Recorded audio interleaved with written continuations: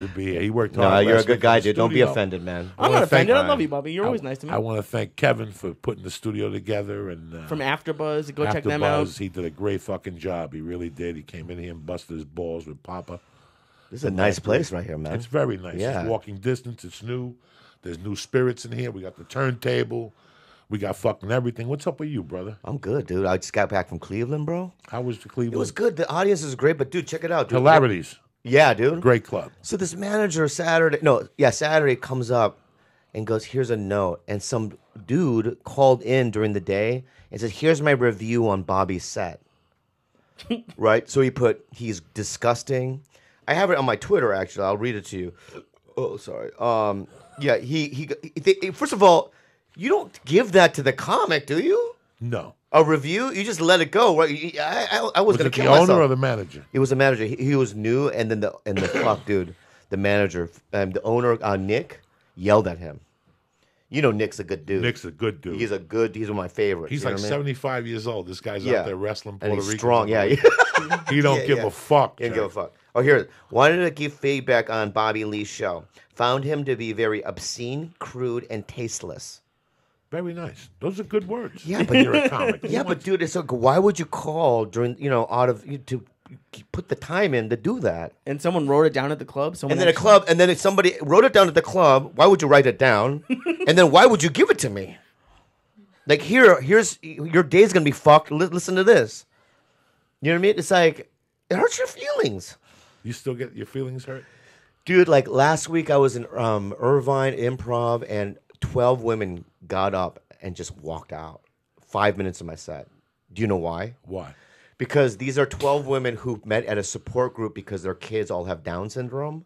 And my first three minutes were about Down syndrome. And so they got up and left. Did they yell? No, but then they, they they got their money back from the club, and then the manager tells you after the show, and it makes you feel like shit. It's like I don't have anything against their kids. Every time I'm with Joey and someone walks out, you just laugh. I you just love laugh. it. I laugh. You do. yeah. You got to push somebody's buttons. You have to. You have to. Yeah. You have to, you know, to, to, to, it's like Brad Pitt said, to make an omelet, you got to break some eggs. So yeah. sometimes you got to hurt somebody's fucking feelings. Yeah, but why would you come out, right? You just you you look at my photo, right? I'm naked in the photo, you know what I mean? And they go, Bobby Lee, this weekend, and then twelve older white women, you know what I mean, who have Downs ba- babies, you know what I mean? They all come and, and enjoy my. They they they know something's gonna be said. Like if you don't have 90 sets on YouTube, like they didn't take the time to look at your YouTube. Yeah, like if I was t- if I came to your show and I go, wow, I'm a Christian, he swore a lot. Well, that's my bad.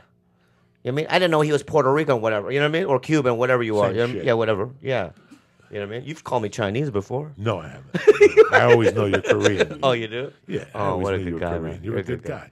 You're a good dude. I, But yeah. I, I, listen. You could, you're gonna expect people to get upset, especially in today's society, and especially in the society we live in. People are gonna get upset. But what I don't understand is, it's like a movie trailer.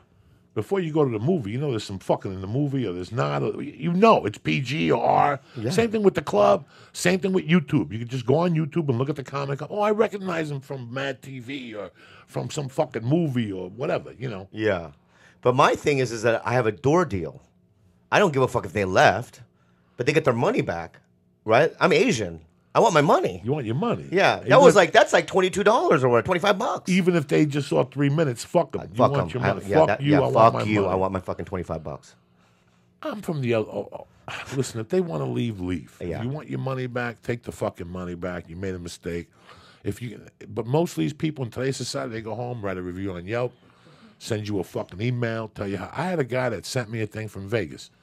He goes, "That was the fucking dirtiest show I've ever seen," and he put, "Learned something from Cosby." Oh, is that what he said? That's said? what he wrote to me, and I'm like, Cosby raped fucking women, you dirty dumb fuck. So you know, Yeah. that's the you know, uh, it just listen. You're not going to please everybody all the fucking time. Somebody's going to get upset. I feel bad when Death Squad guys come to my shows and bring their wives. And they're like, we love it. And the, you could see the girls are like, I don't even know why I fucking came here.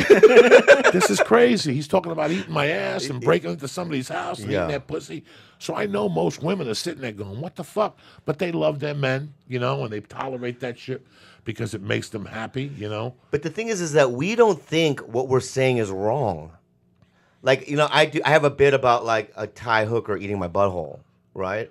And then my girlfriend was like, "You know, my mom was in the audience, and I just don't think you should have told that joke." I go, "What's wrong with it?" Like I don't know that it's wrong, but I guess Well, is it wrong? It's it's not wrong. It's just that they don't. They're offended by it, or it makes them weird. No, you have to understand when a Midwestern white person or whatever, right? They go to they ha- they have church on Sundays, right? They go to work from nine to five. You know what I mean? They have kids. They don't know anything about that. So when I'm bent over on a stool and this Asian lady's eating my butthole, right? Like to me, that's every day. You know what I mean? I think about that every day. Every day. Yeah, that's my life. It's lifestyle. You know what I mean? But to them, it's like, oh, shocking. You know what I mean? There's no man in What? America that doesn't want his butthole eaten. Okay? You said it. I love it. I mean, there's no man that'll say to you, you know what? I really don't enjoy when a woman licks my asshole. That guy, you just walk you into like the eating? field. bu- Do you like eating butthole? I like eating it. I like my asshole eating, but who am I going to talk to eat my ass? You know what I'm saying? That's a- I got to talk like a fucking mule to eat my ass. There's not a yeah, human that's going to eat my ass. Like a mule or a cat, they'll lick my You don't ass. seem like you have a dirty ass. It's probably just a big butthole. it's disgusting. Anybody's asshole is disgusting. Yeah. But in the That's heat my of whole passion, point. That's why I'm it's not- delicious. Oh my god. Yours Everybody's seems like it's asshole purple and is like disgusting. bulbous. Is, your, is yours bulbous? Mine looks like a black person's foot. It's pink and fucking. It looks like it stepped on a firecracker. Like Yeah. a black dude stepped on a firecracker. Mine's Their cute. Pink and mine's mine's cute. It's like pink and very tight. My poo looks like angel hair pasta. you know, it just comes out like in little tiny noodles. That's disgusting. And I know. That's disgusting. Yeah, thank you, man. No, but the, you know, think of if a guy walks out of a show. There's no man in America if a woman drops to her knees and says, "I want to lick your ass," oh, I don't believe in that. Yeah. I think there's a lot of guys who would say no to that. Let me lick it. Well, you first of all, no woman's going to tell you she's going to lick your ass. She's just going to stick her tongue in there, and you're going to hit the fucking your, your eyeballs are going to hit the, the third eye. Is that really what happens? It's like Sure. the first time. Wait, your girlfriend doesn't eat your butthole? No. she Well, don't. let me- want- look at me right now. no, Why not, at all. Why not? Because I don't want her to. That's yeah, that's on you. Oh, but oh, well, I don't. That's on you. And I you don't got to think look she in the would do mirror it and you if have to I- question yourself, man. Okay, listen. I'm a big. I'm a big dude. There's no way. Like even after a shower, like today, I took a shower and then immediately had to take a shit. So I'm. That's me too. It's never clean. me too. but then, how do you have a girl lick it? The thing is, is that if they love you, they'll do it. You know, like I love my girlfriend. You know, I've done it. You know, and it's not. uh, You know, there's like a a, a taste. You know, a residue. Is it residue? Of shit. But no, but you don't know what shit. For, no, yeah, but shit doesn't taste like shit. It smells like shit when you eat shit. It doesn't taste like shit. Really? What does it taste like? It tastes like, like, the food you ate. It Yeah. tastes like the No, it chicken doesn't. parmesan you ate the night before. It's only brown now with the taste of intestines. that same fuck, that same chicken cordon bleu you eat at night tastes the same way. Shit. In fact, when you taste shit, you'll say to yourself, "Hmm, fuck, it's a steak I ate at Ruth Chris. It's only brown and with the taste of intestine and grass. That's what it Yeah. tastes like. I've never eaten shit, but I smell my finger after you scratch your asshole. Yeah, so yeah, when you licked a girl's butthole, you never tasted shit. If I do, what do I care? What do you it's care? part of the game. That's part It's of a the game. It's Vietnam. I'm going deep. What yeah. do I care what it tastes I have like? a machete. Yeah, once you It's go down thick. there, what do you care? Right. Exactly. I don't know. Blowjobs and sex are good enough for me, man. I don't. I don't know. But you got to get freaky from time to time. That's A freaky finger enough. Up your ass, something. A firecracker. A I thing. mean, oh, well, let Jesus. me ask you this: Do you Okay. do you go down on your girl? Absolutely. You do. Absolutely. And you don't travel south. nope. So you you the DMZ line, you just stop there. I, Do you look I at crossed it? the Have DMZ you ever line. looked at her asshole? Of course, you look at it because it's there, but it's like it's. I've. oh, yeah, yeah. what are you What are you gonna do? Not look? It's there. Yeah, yeah. Like during ever- doggy, during doggy, you look at it, but like I'm not gonna stick anything. Have you ever seen your own asshole? I've never Yes. seen mine. When you go to, the, How? to do the when you go take Colonoscopy. the colonoscopy, they send you pictures of the camera three inches from your asshole going in. It shows your Oh, intestines. I never got that test. You got to do it. All right. You're not 50 yet. Oh, okay. Once you turn 50, they make do you do that? it. SAG makes you do So it. this is the first time you ever saw it. That's yeah, you know. You had a high def video. I mean, one night I was all cooked up and I put like a little mirror back there to see what was going on. You know what I'm saying? yeah, yeah, yeah. But uh, yeah, SAG will make you get the camera up the ass, and also they'll send you an envelope and you got to put a piece of shit in there, and mail it in. You gotta be kidding me. I swear to God, a little- you're 50, Wait, wait, wait. they You're, give you a little envelope with a little stick, yeah. and you got to shit and take the stick and put it in the envelope, seal it, and mail it to them. And what do they do with that? They that? test the insides every like three years just to make sure you're fucking You don't swallow gum Seriously? and shit like that. Yeah. I ain't 50 yet, so maybe it'll be. I can't wait. 50? 50, Yeah, yeah. 49, they call you. can't wait. Kaiser called me when I was 49. SAG just gave me the envelope again to take a shit in it. In fact, it was up here. I left it here because it was in my bag, and You still have the envelope? it's around here somewhere. It was in the old office before I moved it. Jesus. You So- working on TV films? What are you doing these days? Well, I'm doing that love thing, which is like Judd's thing, but I'm only on three episodes.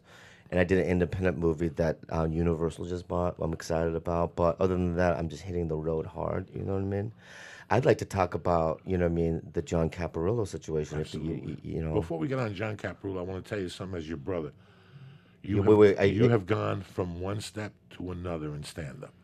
Like your stand up now, it's the best it's no, ever been. you, dude, You were killing me about two weeks you're a ago. up fucking beast, bro. I've been watching you, and I'm like, this guy Oh, changed, dude. completely. That fucking one bit about the the Irish movie, Yeah, that yeah, you yeah. do. The I love Braveheart, that. yeah, yeah. The fucking Jungle Gook with the Filipinos. Mm. I still laugh at that.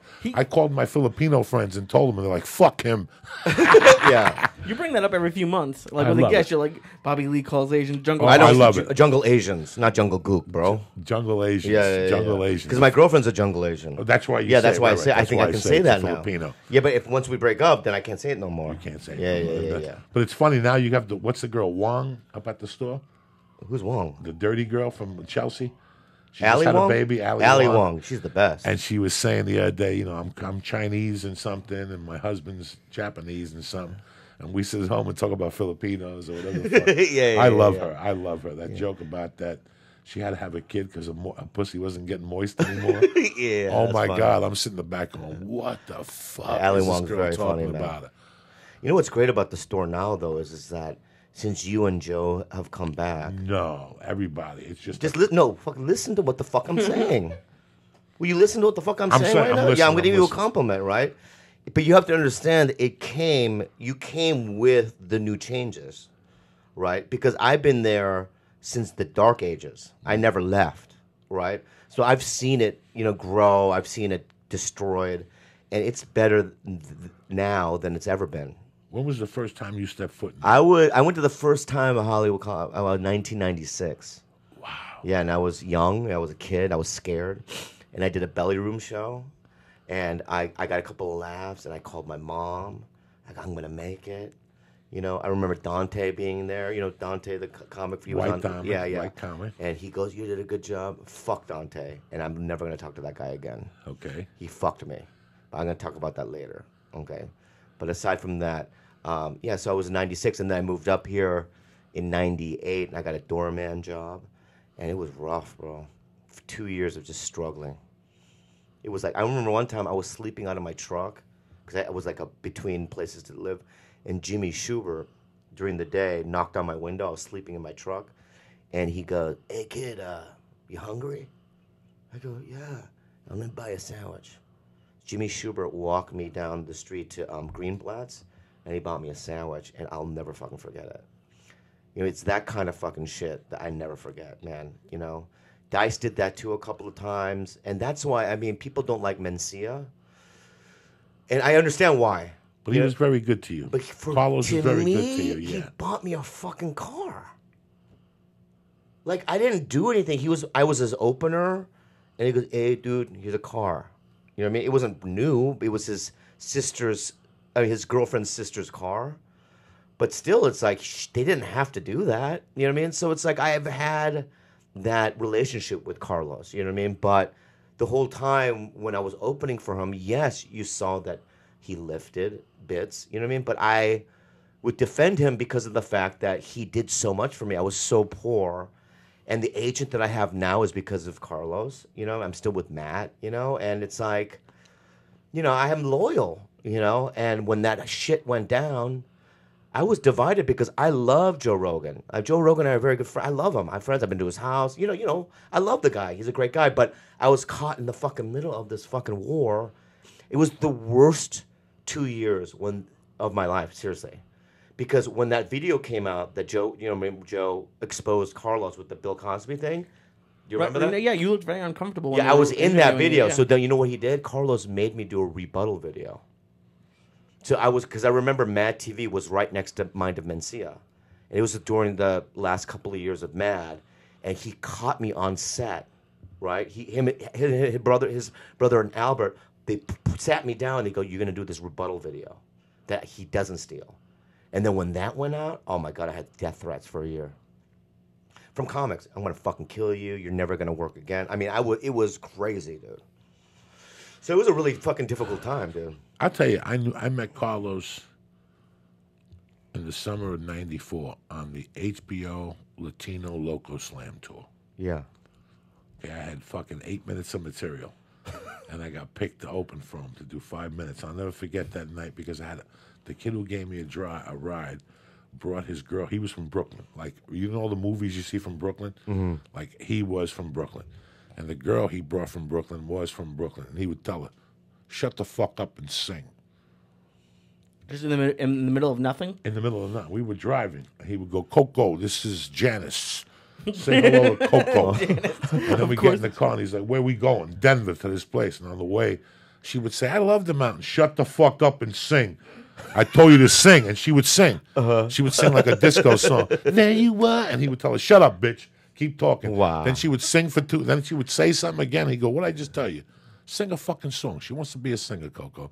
And she would sing in the car on the way there. It was fucking horrible. The girl was horrible. He kept telling her, Don't worry, I'm going to make calls for you. I'm going to make you a star. Just keep fucking singing. What were you Wow. doing as she was singing? Just sitting in the back, dying in the back, just dying. But I took Carlos's number and I called him after that, and he was very good to me. When I got to the store, Carlos was one of the ones that made a call for me to be a regular at the store. So I too was in the middle of that. You know, uh, I knew Carlos for the longest time. you Yeah. know. Well, I mean, it can't. What, are you- people- what are you doing?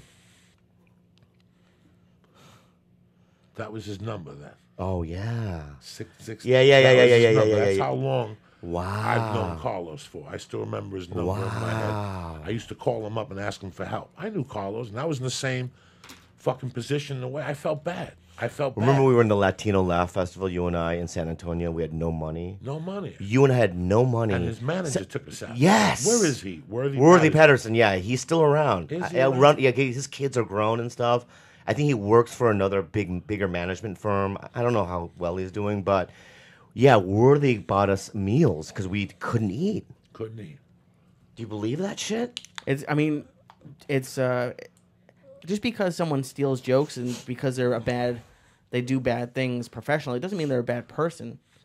I mean, I mean, it, does- it, But in comedy, though, you know, it's well, I mean, I can understand why people. I mean, that's always why it always sh- shocks me when people who do stuff like that are also assholes. Like, if, you're, if you're gonna if you're gonna do shitty things, be a nice per like at least try to be a nice person on other aspects of your life. Listen, it's funny because I was thinking about this today. Because all the Amy Schumer stuff. Mm-hmm. Oh, another one came, another allegation came out today. And I was sitting there thinking to myself, who allegate? Who's the allegate? somebody she stole another sketch for his show. Oh yeah. And I'm sitting there going, you know, I still remember when somebody came to me and said to me about Carlos. And they said a couple of things they wanted to do to him. And I said, listen, you're not going to accomplish nothing with smacking this kid. I'll never forget this. I said, what you need to do is let him do what he's doing, and eventually he'll kill himself. You know, and I didn't mean it in a bad way mm. because I'm a thief. I'm a real thief. I know what it is to put a gun to somebody. I know what it is to break in somebody's window. But I would never rob somebody's joke. I knew the price I paid when I was thieving. I know the prices I paid. I could name 20 of them the price I paid. So you always pay for your fucking sins. You know, when I first started in the business, the biggest joke thief on the world was Robin Williams. Mm-hmm. Everybody told you, even when I started in 91, that was the biggest thing people would tell you. He's a fucking joke thief. He paid people off. Like Steven Pearl, he stole Steven from. Pearl yeah, from- Brian Bradley. Yeah. You know, so you have to think to yourself, didn't this guy kill himself? You know, yeah. Uh, it's something that's really weird. I'm going to ask Bobby Lee a question. This is going to be the weirdest question. Bobby Lee, if tonight, God forbid, and this is a big God forbid, you're on your way to heaven, What? and you made your decision, and No, you made your decision. I'm just saying. he- Like if I if I di- kill if I die, no, no, no. If you you never die. killed yourself. Let's pretend if I die. And I think of this whole comedy game on the way up. And what I really got from comedy game, it wasn't the audiences, it wasn't the money, it wasn't the ability to make people laugh. To me, is what you said when somebody did give you a car. When my car broke down in Nebraska, and some girl picked me up and gave me a ride to the gas station and stopped and bought me food. When Bobby Lee gave me a hundred. I went up to Bobby one night and go, Bobby, I, I'm broke, and he gave me a hundred dollars out of his pocket. Never asked me for it. Joe Rogan, who hated cocaine, hated cocaine. A couple nights it got to the point where I needed money. I go, Joe, I need money. He go, and he'd give it to me. Ralphie May, you know, the people who take care of you without you even asking. He gave mm-hmm. you a car. There's so many great lessons I've learned from comedy. So many great fucking lessons that you sit there and go, holy fuck, you know, holy fuck. And here I thought it was going to be this. And look how nice this was, you know? You don't get there by yourself. It's Never. impossible. Never, never. I mean, if you look back of like who got you, you know, I mean, audition for a club or who put in a good word for you. I mean, all the little tiny fucking things, right? You can't just do it by yourself. You need people. You need people that are ahead of you that have some sort of power. And and that's why I do it now. It's like if you want a commercial agent, I know the dude, my dude, you know, from Aqua. He's a Korean dude. The He Korean, that's the yeah, man. Yeah, That's the yeah, of yeah, steel. Yeah. So it's like I help, you know, I do it, you know, not because I'm a good person. It's because that's the way You the thing it. is supposed to fucking work. You know what I mean? You got to help people. Without any young comics, we have nothing. we have nothing. We have nothing. I tell all the time. Those Yeah. young comics are going to keep me in chicken cutlets when I'm 70. They're Yeah. all going to, when they're all stars, they're going to go, I know who can play my grandpa. this kid Jak Knight, who I had me, op- I had him open a year ago on in La Brea, a Brea Improv. Comedy Central came out to see me. Right? They didn't like my act, but they liked him. He was a kid, black kid. Right? He they gave him like three shows. You know, maybe like you know, Adam Devine's beach party, whatever that was, and now Chappelle's using him as an opener. And Jak is like, "Is that all right with me?" I'm like, "Dude, I want, want you you. to fucking do it." When I saw you a year ago, right? He only had 15 minutes, right?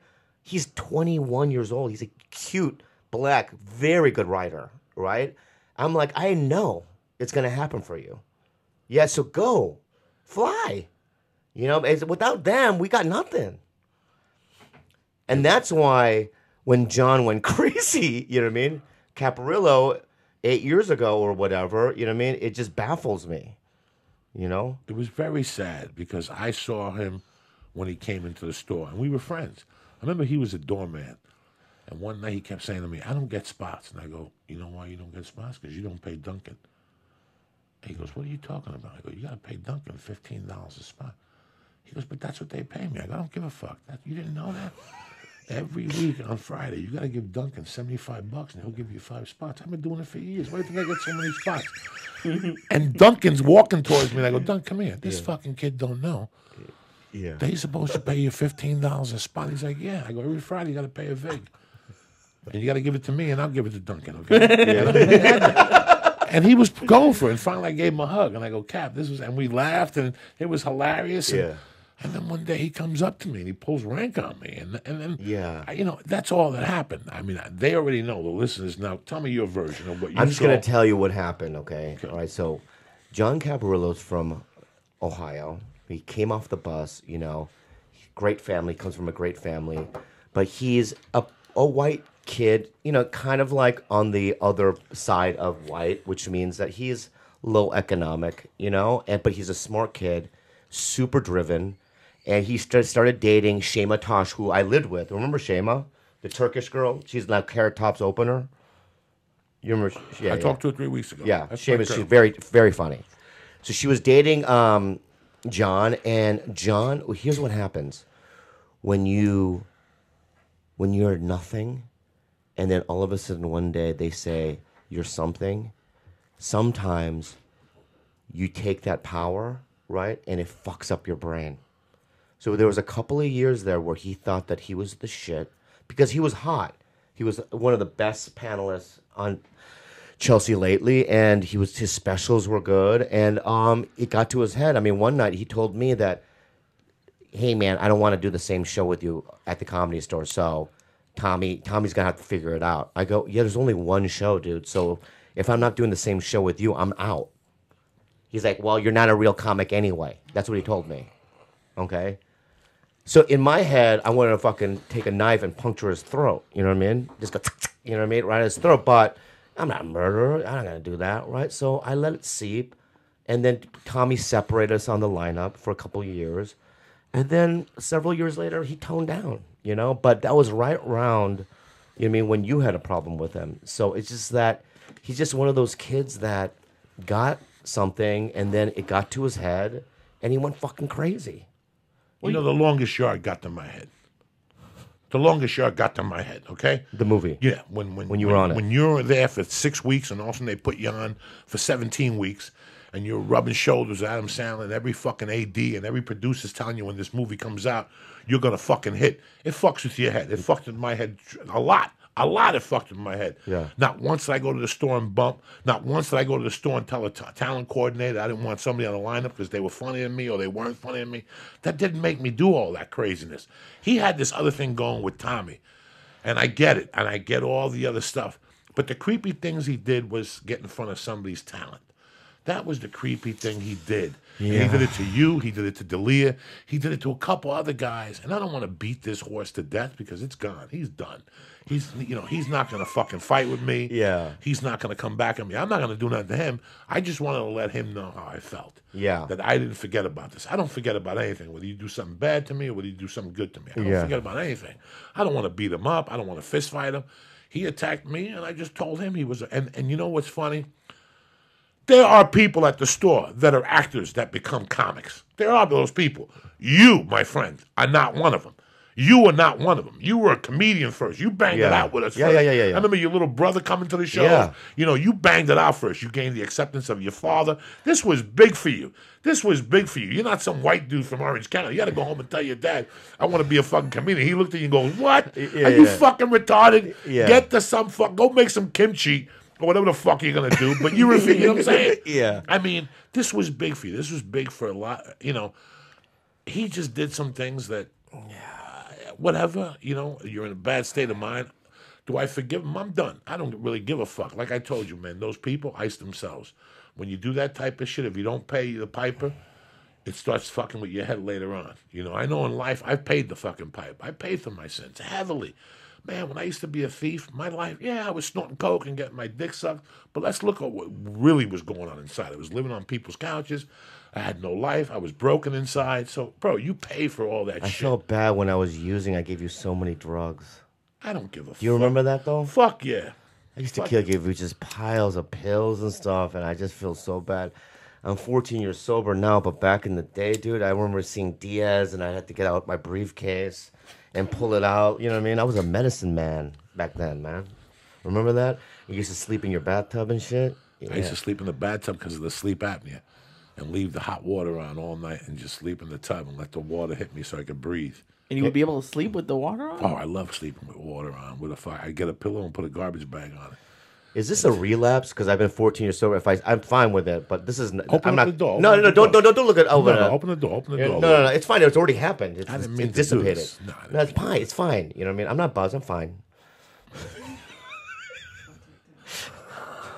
but can you get high like that though? Uh, maybe with his stuff, but not. I don't. I think you'll be fine. All right, But thank like, you. how? Like, is it hard? Because you could both have had pretty great careers. Like, I know you're not done, but you've had good things happen to you. Is it hard not to start being like, oh, I'm gonna bump all these people at the store. I'm gonna do all that. Like, it must. Some people. Why would I want to do that? I, why would I call in on a Monday? They gave me 15 fucking minutes. That's enough time. Sometimes I'll do 20, you know? And then I'm out. Why would I? They'll give me my spot.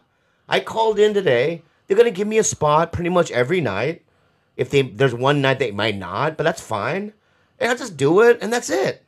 Why would I go mysteriously, unannounced, and then go- up to a kid, you know what I mean, who's struggling and go, by the way, me and Joey are gonna bump you, and you're not gonna go on for another hour. Why would I do that? I think it's the same. You could say the same thing. Like, why do these bankers defraud people? Like, it's.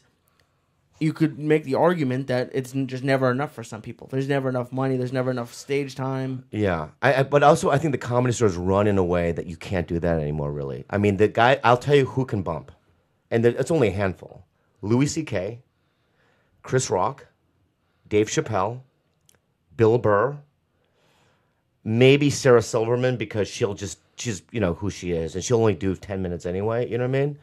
But that's pretty much it. And I have no problem with that. yeah, me either. I have no problem. Rogan, Rogan can do it. I have no problem with that, and he won't now. He won't do He it, won't but he do it. could. But if Bill Bill has come up to me, Burr, and Chappelle or whatever, and they said, "Hey, can I go up before you?" Yes. Yes, absolutely. Why would I, I, I don't care, you know, because it's not like what they used to do in the '90s when Eddie Griffin used to do three hours. Do you remember that shit? Oh my God, Three hours. Andrew. Dice would do three hours.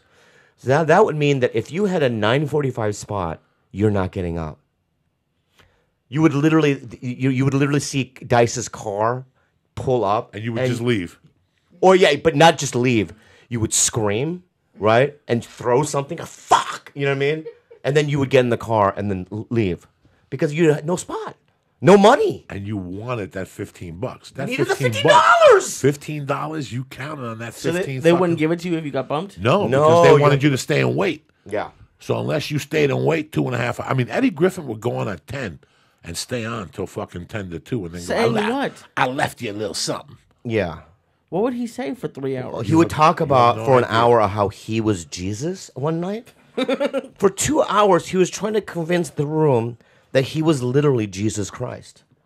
You know, and it wasn't jokes. I'm Jesus. And that's it. I'll tell you why. You know what I mean? It's like, what? And that would and they would let that, you know what I mean, happen. And that's why industry never came. That's why the real credible comics never wanted to play there. But now everyone plays there because it's run fairly. And it's a it's the best room in LA. It's right? By far. By far. By far. Like when Flappers, check this out. When did Flappers come out? Five years ago? Five years Okay, so this is what happens. I get the call from the lady. What's her lady's name? Barbara. Barbara, right? She calls me, goes, Hi, left a message. Hi, I'm Barbara. I'm opening up a comedy club called Flappers. And um, I remember you from back in the day, you know what I mean, from my visits at the comedy store. And I would like you to perform at my room. I called her immediately and I said, I'd love to do it. So you have weekends? She goes, Well, you're not a weekend guy. I go, excuse me? Yeah, I'm having Jimmy Dore and, you know, these names on it. And Avi Liberman, you know, they're the, the headliners and they're doing the weekends. You're more of a Tuesday call in, you know what I mean? And I'm like, bitch, I'm with CAA. Bitch. You know what I mean? I got I've done movies and TV shows, bitch. I didn't say that. I didn't say that. I go, okay. That's what I said. Okay, and then I hung up, right? But it's like I will never play that room. And then a year later, she left another message. I'm so sorry. You can do a weekend. How do you know what I mean? But at that point, done. Fucking done. I will. I have stepped in that room maybe twice in my life, just because my girlfriend was performing the open mic there because she wanted to try stand up, and I had another friend do open mic. Whatever. I, I stopped. I by- was there last Tuesday. at open mic. No, and uh, they do a Tuesday. Oh, they do? Yeah, yeah. Thing, and I was there on Tuesday and Wednesday. Have you ever done a weekend there? One time I did the Friday night, Well, there you go. But I never did it again. Nice club, but I just don't Why? need to do it. Yeah, yeah. Why? It's not good, right? It's a good club, and they get good people, and it's Burbank. Uh, I just thought that the whole thing wasn't worth the aggravation. Like I got fucking, you know, Death Squad people don't buy tickets till Friday. They're stoners. And she kept calling me Wednesday and Tuesday, like, you're not selling tickets. You got to give away tickets. And I'm like, I ain't giving away dick. Cancel me. And then Friday, she came in and apologized. She goes, hey, man, when I got here today, there was a bunch of stoners out there waiting to buy tickets and shit. And she's a nice lady. It's a great club. It's just not what we're used to. And there's a lot of clubs that we're not meant for, Bobby Lee. And we go there one time, and you know when you oh. walk in, you're like, ooh, this is not me. I, oh. I, I've literally gone up to club owners and said, "This is a nice club. Don't ever ask me back." No, you have. I have. This is the worst weekend of my life. No, you I have. I don't give a f- because I don't even want them to call my agent to even see. One of the guys at Kansas City, right? He was a Christian, The right? wig or the club, improv club? Improv. Oh. right. He's a Christian, and when I told him that, he goes, "C- "Can you get on your knees and pray with me?" I go, "What?" So we get on our knees. He goes, he, I, it wasn't a joke.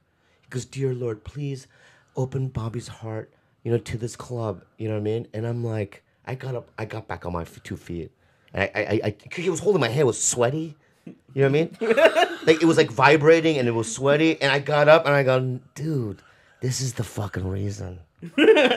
This is the reason I don't want to come back here. Was it just too clean? It's just the I, I, one show a lady stood up, and I didn't even know what this word meant. I had to Google it. She goes, "Heathen." Never heard it before in my life. I In the middle "He-" of Kansas City, they just called you a heathen. Yeah, I go heathy. I didn't know what the fuck it meant. I, I'm, I'm retarded. I didn't know what it meant, and then I googled it. I go, that fucking cunt. I ain't no fucking heathen. You know. And as soon as that happened, I gotta never come to this fucking place again. Was the food good? Was the club Good, good? yeah, pre- yeah. the food good. hotel yeah, was yeah, yeah, good. the hotel was good. Yeah, yeah, yeah. And you just didn't like the club. You know, dude, it's like if it's a lot of white people, like 99.9% white, I generally can't play it. Do you know why? Why? Because of a cultural connection. If I play Seattle, 30% of my room are mixed, either Asian, black, Latino. Latino, right? And if I talk about my, my parents or my upbringing, and if it's all white people, they just don't get it. I mean, the jokes, because it's constructed where I have a punchline, right? They do giggle at it, right? But it's not that like, caca, caca, where like I really know what you're talking about. And I just don't want to do, I don't want to convince people, you know what I mean, of who I am. You know what I mean? It's like I just played Cleveland, and I I'll play. I only play that room because of Nick, the owner. Nick is of great. hilarity. He's one of the best people I've ever met. Best, the best. And the audiences, they, I, I sold out. You know what I mean? And the audiences are great. You know what I mean? But it's hard. It's hard. Like every show, I have to walk on, and they go, "You killed." I go, "I don't know." I, you know. I had a hard time there too. Yeah, in I the middle, hard- you- I yeah. lost him a little bit. You lose yeah, them a yeah, little yeah. bit. Yeah, they're When I was talking about my purple nutsack, you know what I mean, and how ethnic guys have purple nutsacks and stuff, and they're like, "Ours is pink." You know what I mean? yeah, but mine is purple. I don't believe you. You know what I mean? It's that kind of thing. Where if there's ethnic people there, go, "Yeah, dog, mine, mine's purple too," or whatever. You know what I mean? Where else have you played that you don't like the club? This is What? great. What? Where else? Oh, okay, so they're Pittsburgh. Oh my God, Steve Byrne told me to play it because he's from there. Right. Yeah, you're from there. You're gonna do, and you're also half white, right? I'm full Asian. I went there. I mean, you're talking about sixty people on a Friday for a show. You know what I mean? It's like, you know what I mean? I'm swinging 500 seats, sold out at Irvine Improv, right? Sch- Schaumburg Improv, sell out every show. Right? How's Schaumburg? You like amazing? Schaumburg? You like Schaumburg? Yeah, Okay. because it's close enough to Chicago, and there's just you know the cultural element is there. Canada, I fucking love. Canada's the fucking best everywhere in Canada, but there's some place. Oh, you know what the worst one was? Denver Improv. Have you played there? yes. Oh my guy, that was the worst. You know what happened to me there? Why didn't you like the Denver Improv? I'll tell you one night. I, okay, I do a Thursday show, Friday show, in front of like 40 people, a show. I'm not fucking kidding you. Saturday, first show, I walk in the club. The doorman put me in a headlock. He put me in a black guy. He put me in a headlock. He goes, "Yo, dog, where's your ticket?" Swear to fucking God. on your third night there. Yeah, it's my third night. I go, I'm the headliner. And he let me go. He's like, my bad. Bitch, you're supposed to fucking know that already. You know what I mean? It's not like we're, you know, it's not like a movie complex. Was it You know next I to your poster at the front door? Well, no, it's not like there's 12 comics in 12 different rooms. You know what I mean? It's one room, one guy playing the whole weekend, right? Know who that guy is. The same happened to me in Seattle, and I got him fired. In Seattle, I did two shows. I walked in a cl- club, American Indian, long hair, parades. Hey, Bo, you, you, you sold out. I go, I'm the headliner. And when I got off the stage, he was fired. I didn't say to fire him. They just did it because it's embarrassing. But then I got him his job back the next night. I felt bad because he had kids and stuff, and he's American Indian. You know what I mean? Yeah, but how can you not know? How you can should not know who fucking know who is? your fucking headliner is. So it's Denver out. I, I went to Comedy Works. You know, that's the shit. You know what I mean? Pittsburgh out. Never again. I, I'll tell people, I love you people in Pittsburgh. If you're listening right now, but I can't play that room again. It's a disaster. You know, here's another one. Fucking, I can't play fucking Dallas with that with Addison Improv. Why not? I just it's it's it's it's it's it's, it's chaos. There's a beer thrown on the stage. You know what I mean? A girl has her titty out in the front row. That's a crazy room. Yeah, And it used to be crazy 10 years ago. yeah. Like, but that's like a crazy fucking o- room. Put your titty away. That's a white neighborhood, Addison. Yeah. It's next to a karaoke bar, oh my god. Yeah, it's like that- you know the dueling piano. the dueling piano. yeah, dueling piano. So it gets all those knuckleheads in. Because if you go to a dueling piano, you decide to get hit in the head with a fucking piano. Wait, it's in the same room. As, right next door, so you hear the piano and shit. Yeah.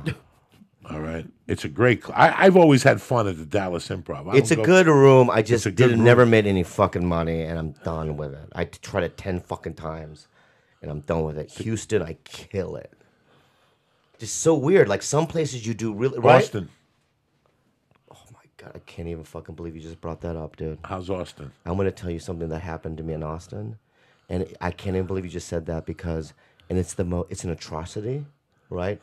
And I'm gonna sue. I might sue. I was playing Austin a year ago, okay, on the books. Matt Blake calls me. He goes, "You're out of you're a week a weekend, right? You're out of Austin." I go, "Why?"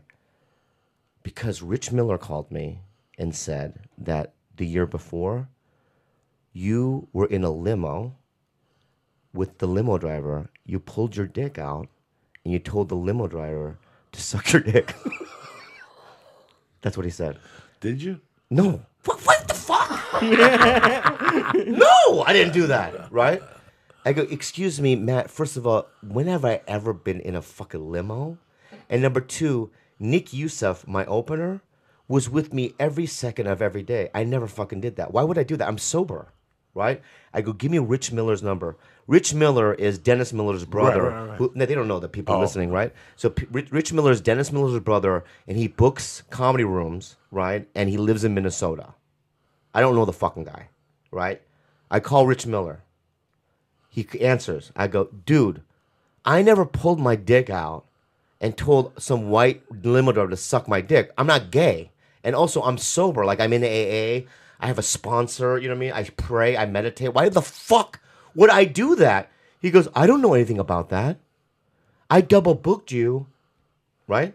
I double booked you, and it's the other guy's a friend of mine. He has no money, but I'll get you back on the books. That's what the fucking guy tells me, right? I hang up the phone. I call Matt. I go, that's what Rich said. He didn't even mention the dick sucking thing, right? So then Matt called Rich again. Matt calls me back. He goes, yeah, you did it. the dick sucking. So the Rich Miller can't say it to my face. He lies to me on my face, right? And then tells my agent that I did it. I never did it. And then I had my manager and my lawyer call the club itself to bypass Rich. They won't answer our phone calls. I don't know what the fuck happened there. I love that fucking room. That's a great room. I know it is. I know it's a great room, but I never. T- why would I? Why would I tell a stranger, a guy, to suck my dick? I know. I okay, listen. Listen to me right now. Okay. Okay.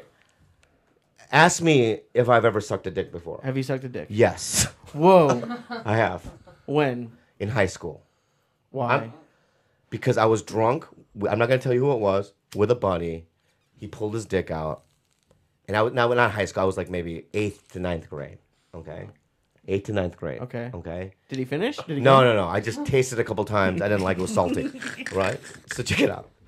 So I sucked it. All right.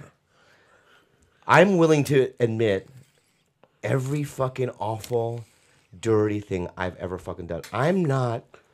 I'm not a fucking angel. I've made mistakes. I've been in and out of sobriety. I've relapsed before. I know my frailties and I know exactly what I've done in my fucking life. All right? If you've asked, uh, you know, when they say, were you molested by a guy with Down syndrome? Yes. He stuck his little sweaty fingers in my butthole when I was nine. And he gave me candy, and I went back every fucking day for three summers in a row to get that candy. and I let him stick his fucking sweaty fingers in my butthole, and I jerked him off. I don't give a fuck. I want the fucking dip candy. You know, he had the dip, you know, with the stick? Right, with- Right. So I went back, you know what I mean, every day for three summers in a row to get my candy. What was it going on during the school year? What? You, why, why, why do you only go during because, the summers? because he he was the guy that mowed the lawn at the fucking skating rink during the summer, and then during the winter it was so he never lived there. But in the summer he was like the the groundsman, right? So it was only in the summer, and he lived in the shack there, right? And he had this candy on the rafters. I'm just telling you this right now because of the fact that it's a dark thing, but it's like I'm I'll admit to it, all right? You know, I've I've told my parents every dirty thing I've ever fucking done, and I've done many, all right? And I've apologized for bad things, but I never pulled my dick out to a limo driver and tell him to suck my dick. That never fucking happened. And then I'm banned from a room, and then I wanted to sue, and then my agent's like, "Dad, I do business with them, with my other clients. You know, he was with CA, so I like, can you not? I mean, I'll I'll back you up. So I let it go. I'm telling you right now, Rich Miller, I never fucking did that shit, and you should be a fucking ashamed of yourself. Okay. People, hey, listen. In '98, I went to Florida. '97, summer of '97, I went to West Palm Beach when it was the O Club. I got there Wednesday. I headlined Wednesday, headlined Thursday, and then Friday, Saturday, the black chick from Night Court was headlining. Marsha Warfield. Marsha Warfield. This is before she died. I love you. And this is before she died. And that Saturday, She died. I think she died. I don't, I don't really know. And uh, that Saturday, that Friday, I, I mean, I had people in Miami, and I bought blow in Miami that Friday, and then that Thursday I got high. But that Saturday, I was talking to the waitress, and the waitress comes over to me and I go, "Hey man, can you get some blow?" And she goes, "Yeah." So I go, "How much? Ninety, whatever." I give her the buck money. Twenty minutes later, the club manager comes in. He goes, "Hey man, don't ever ask my waitress for blow again." I mean, she had given it to me already. Yeah. He goes, "Next time, come to me." That's not where I thought you were going with it. yeah. I go, I didn't know. Nobody fucking sent me the memo. You know, next time I'll go to you. Yeah. Okay. That Sunday night, whoever the club owner was, I don't need to mention his name. I do the early show at seven. The Fucking show finishes at eight thirty. Do you know at eleven o'clock I still wasn't paid because he was doing blow in the green room with whoever the fuck some other one of the other headliners, and I could even smell the free basin. Okay. I bought the gram of coke. I got high. I didn't get high at the club. I didn't hit on any of the waitresses. I got high at my cousins. Friday, whatever. Saturday, I got high in the hotel. You could. The condo was so bad. The condo didn't even have a fucking a shower curtain. I mean, I had to stay with my cousin. The point of the story is, I came home, and three months later, some headliner comes up to me. and goes, "Hey man, what'd you do in West Palm Beach? That owner hates you." He says you were doing fucking blow. Okay, the owner was doing blow on Saturday and Sunday fucking night in the green room with the other comic that was at the Yeah. because they had Davey and they had whatever. Doesn't really matter who the fuck it was, but it's amazing how people will say shit, and it depends how we take it. I was very insulted, and I saw him after that. I never talked to him again.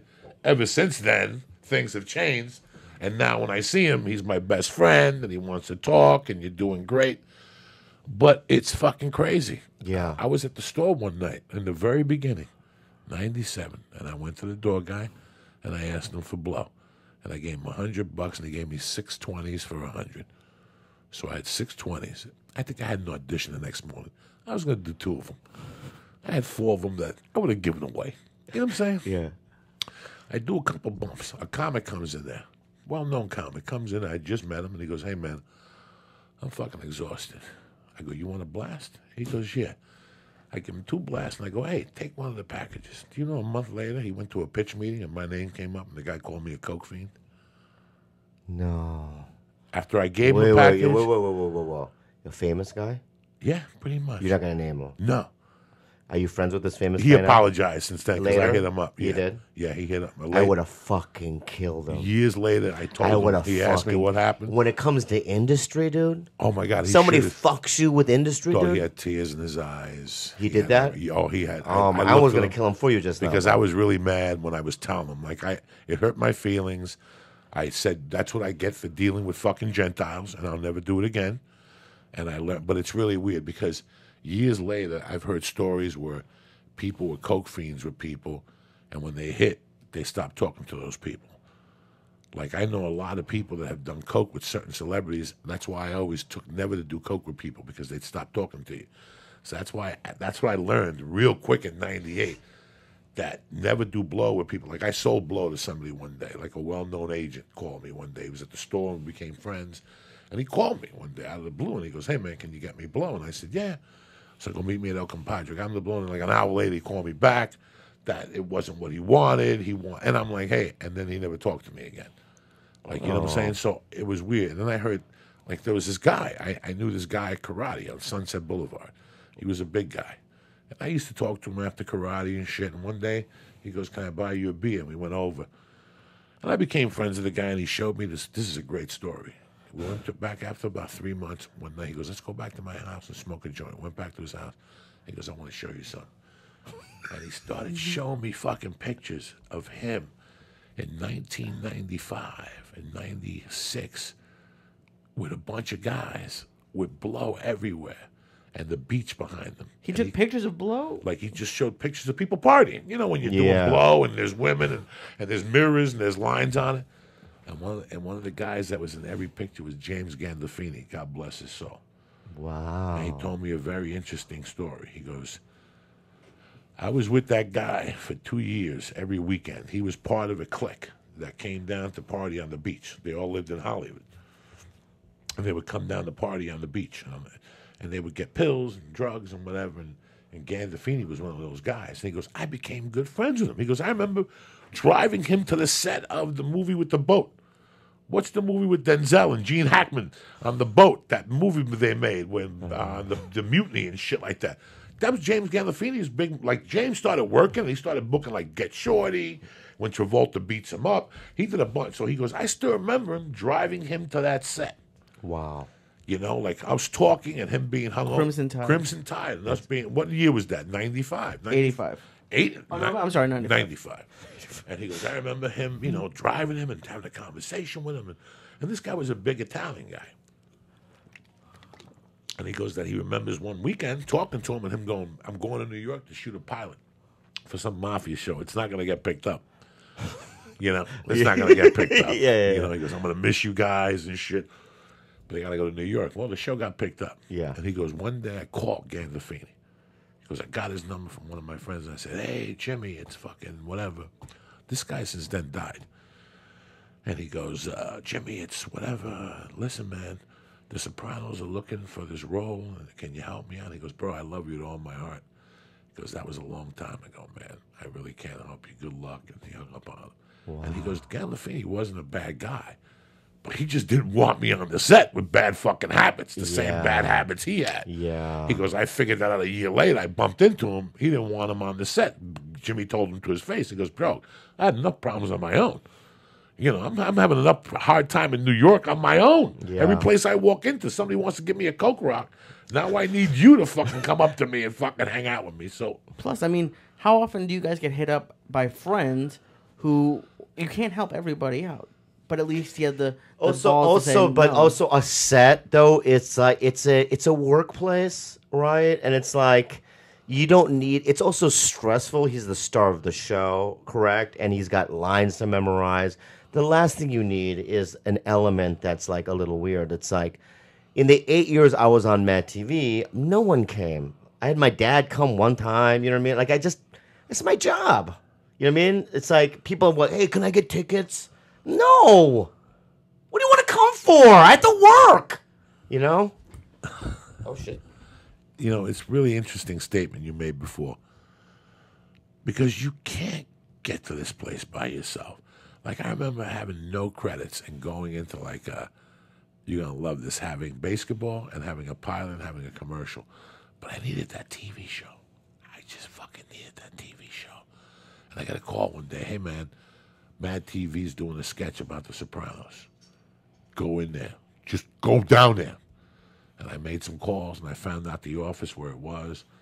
And I fucking went down there because they submitted me too late. So they go, just go down there and crash the audition. And when I get there, they stopped seeing people. There was nobody there. But who walked out of the fucking office that was writing? The black kid. Aries. Aries. Ari Spears with the impersonations. You know how many times Aries Spears talked to me before then? Zero. He would see me at the store and go, What's up, brother? Do you want to you want to know how many times he said hi to me at eight years of on the show with him? Zero. Okay, but here's the thing. He said hello to me zero times at the store. I would Yeah. do Freaky Monday with him and the other guy, the black show. But guess what? When he walked out of that door, he made eye contact with me. And he walked over and he goes, You here for the soprano bit? And I go, yeah. And he goes, hold on one minute. And he knocked on the door. He went in. I could tell everybody the truth, you know. Yeah, yeah. He walked in, and he came out. He came out with some lady, and he introduced me to the main lady. And he goes, Nicole Garcia? Yeah, he Yeah, goes, this yeah. is my motherfucker from the store. You know, give me some love and shit. And I went in there and booked it. Wow. You know, eh, grudge match. I got a call from the director. You know, think of all the things that we've booked just because we've known somebody. Yeah. Meanwhile, when you were a kid and you were starting comedy, you're like, how did he get that role? I wonder how many times he auditioned. Yeah. If people at home really knew that, after a while, you just develop relationships. I went to an audition last week and there was a bunch of old Italians in there. And they were talking about Hollywood in the 80s and 90s. And they were talking about when casting people in the old days would call you and go, I didn't book this. Like I like you know how many people would want to book a pilot? Guess what? Fifteen years ago, I was in my house about to go get coke. I swear to God, and I got a call from Julie Ashton. Ooh. At six forty-five at night, she goes, "Joey, what are you doing tonight?" And I go, "Nothing. I got a spot." And she goes, "Can you go to Fox? I forgot to cast a part on the pilot. NYPD Blue, twenty sixty-nine. She goes, We'll negotiate in the morning, but I'm going to take care of you. Just go and do this for me, please. And I went and I had two lines, and I fell and I got shot, and the pilot never got picked up. But that was one of many opportunities Yeah. that people just called me up. That's how it was. I think I got like eight grand for a fucking phone call Yeah. the night before. You know how much I needed that fucking eight grand? So if you put the work in somewhere along the line, 'cause just because you want something doesn't mean you'll get that. But you'll get something else if you put the work in. Can I tell you another? This is and this is a little why you should be nice to people. Okay. So I was If, at if you twist that, it'll stop on Where? the side. Where right here? Under the little knob, it'll stop falling off. Why can't you do it? Why can't you be nice and do it for me? Like that? Thank you. So I was a doorman right at the comedy store, and this lady was hanging around, like walking around the parking lot. And I go, "Hey, lady, what? You need anything?" She goes, "I hate this club. They're always so rude." Because remember back then when like the do- Harris P, they were so fucking rude. Right, the Chewy, doorman, those yeah, guys Chewy, those guys. rude. She, she didn't know what to do, so I go, "You know what? I'll get you in." So I snuck her on the back. Right, I got her a seat, and then I didn't have any money at the time, but she looked like somebody with power, and she seemed nice. So I go, I, I- got her a, a wine. She sat there. She saw whoever she needed to see, and then she, afterwards she goes. She was an agent at Gersh at the time, and she goes, uh, "What's your name?" I go, "My name is Bobby Lee." Right. Two years later, I'm testing for Mad TV, and she attended. She's now an executive, and she attended my my test, my audition, and she said afterwards that she was only there for me to get my job, because I was so nice to her two years before. that night. Yeah. It like it was the weirdest cosmic experience. I mean, I got to that point by doing 12 auditions and I I mean, I you know I mean, I did the work, but that last final thing, that lady was just sitting there, you know what I mean? And you everything helps, you know? And like she really that was amazing. It was a big lesson to just be nice to everyone you fucking know. You see. Is it hard for you? I growing up, I used to hate in school when there used to be group projects. I used to, I used to always think I'll just do it myself. I like I couldn't trust other people. I didn't like working with them, and hearing all you say, like even now, like we had this guy Kevin, very nice, help us with the studio. It's gotten to the point where, especially I don't even know if it's his town, but you start becoming like a little bit wary of people who are trying to be nice or or want to work with you and it's nice to hear that not everybody is is out to like there are people actually trying to help and being nice and it's did it, like did it take you a while to get to that place of accepting help and working with other people Well, I mean, I, I think maybe it's an innate thing that you're born with. I really don't. I, it's not something that you consciously decide. I'm, in my head, I'm like, you just feel it in your heart to be nice, and then you are. I mean, I mean, and let me tell you something. I've had years where I was a fucking asshole, and I didn't help anybody. I mean, I thought I was the shit, but you know what? I've suffered. I mean, there were some years after Mad TV where I was the I, I, I nobody wanted me for many years and you you either go you know become bitter and sad and angry or you change and you become a better person like your parents taught you you know so it's like i've decided to just be as nice as i can you know i've never denied a photograph have you No. yeah if, if i'm at a restaurant I'm Before eating- shows, I do. Like, but when I get to a thing before a show, because I don't want everybody taking pictures. Right, before. yeah, yeah, yeah, yeah. So I do afterwards. Especially when you're in the stuff. you're walking through the showroom and right. there's some it's- guy in the it's- back. Yeah, yeah. You have to do them afterwards. So Of course. But if you're at a restaurant, right, and somebody goes, "Can I get a photo?" or a waiter, you would say yes, Yes, right? always. Because there are a lot of cocksuckers that won't, right? It's like I'm, you know, if somebody wants to talk to me about something, I will talk. You know what I mean? If they ask me, "Hey, well, how did this?" You know, I like this sketch. I'll talk to them about it, even though I don't want to. You know what I mean? But it's like, yeah, I, I feel like I've changed and I'm more available. You know what I mean for stuff like that. I think you have to be. I remember when I started in Denver, the big thing that they had was running the light. And I couldn't figure it out at first. I went home on that bus a couple nights and I thought about it. And it's weird even at the store today. As soon as the light gets on, I get off. And people always say to me, you know, you have a couple few minutes after that. I don't care. Because I want people to understand how I am. You know what the first thing I do when I get home is from the road? When I pull up in front of my house, I go upstairs. I take my luggage, I throw the clothes in, I put my sleep apnea mask on, I go in, I take a shower, and I come out. You know what? That, the next thing I do is I write a check for the commission, and I send it the next day. Mm. Because I don't want no fucking problems with my money. Mm-hmm. Okay? When I got money, I don't want you taking fucking 30 days to mail me a fucking check. Yeah. I send you your fucking money. That's a respect I give people. And I tell them when they go, wow, I got a check from you. Two weeks in a row, I go, you know why? Because I don't want no misunderstanding with my fucking money either. So when you have your money, I don't want it in your fucking pocket to get interest for three weeks. Mail me my fucking money. I don't want to wait for the accountant on Wednesday. Because the first time I wait for your account on Wednesday, I'm gonna make you wait for my accountant. He only comes once a year. okay, you don't want that, do you? No. Okay, I don't wait for accountants. Send me my fucking money on Thursday, and I'll send you a fucking check. Yeah. I don't give a fuck if you don't put the check in the bank. Don't. You know what I was doing the last couple of years when I book a job? I'd show up there and give them the commission before the job was even shut. Don't touch my money. Don't touch my money. I don't want the 10 days and the 10 you got. By the time I get the check, it's 25 days later. Why? Because you guys want interest on what, $800? Just give me the fucking money. What do you do in a situation where at a club and you know that you did better than you know what I mean they say you did? You know what I mean in terms of money? Like, do you say things or do you just let it go? In the beginning, I got pissed. And then I realized why I paid my agent. And even though I go home on that flight a little pissed, like I got smacked in the face, first thing I do when I get home is I fucking go off on my agent and go get me my fucking money right now. In fact, here's my, I email him with my bank account. Just tell him to deposit the money. I don't even fuck around. It's mm. already, so when they call me back and they go, I already, I email, I assume the close.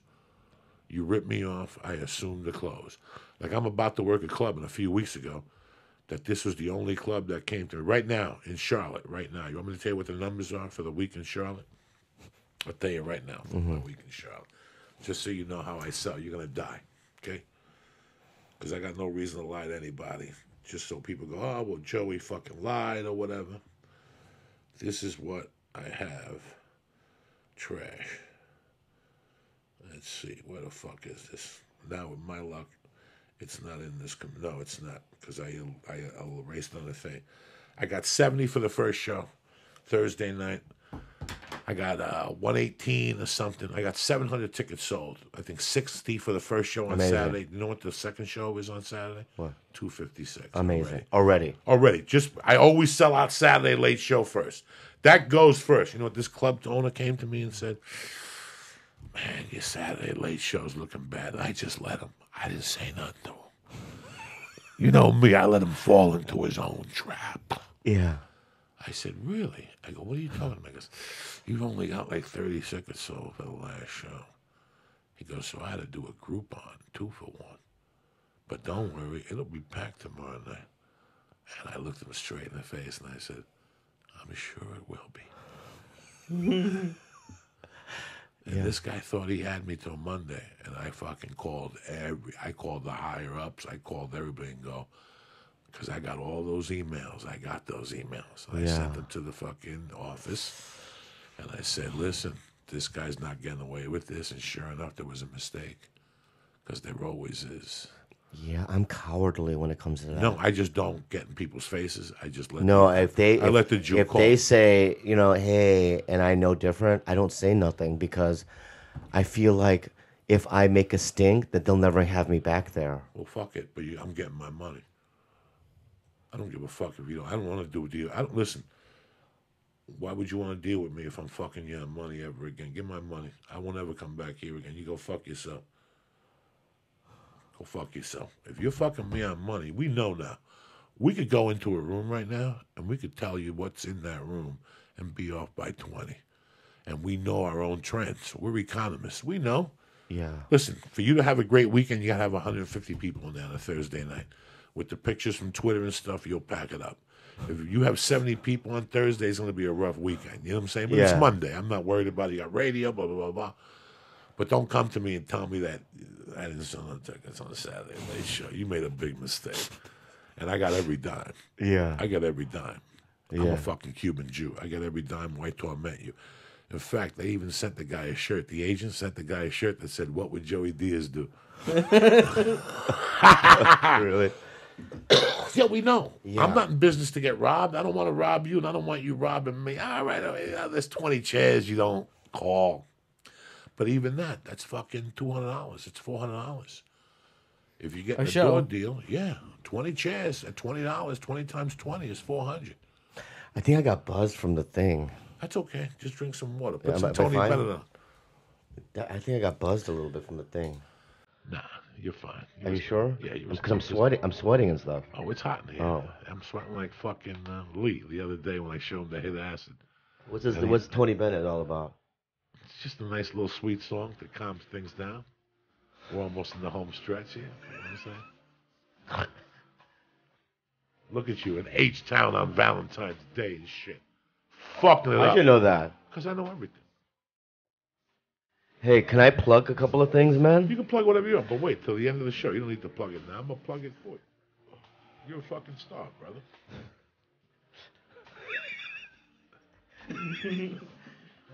I, what's going on? Just sitting here relaxing. Oh, Gonna smoke some more pot here.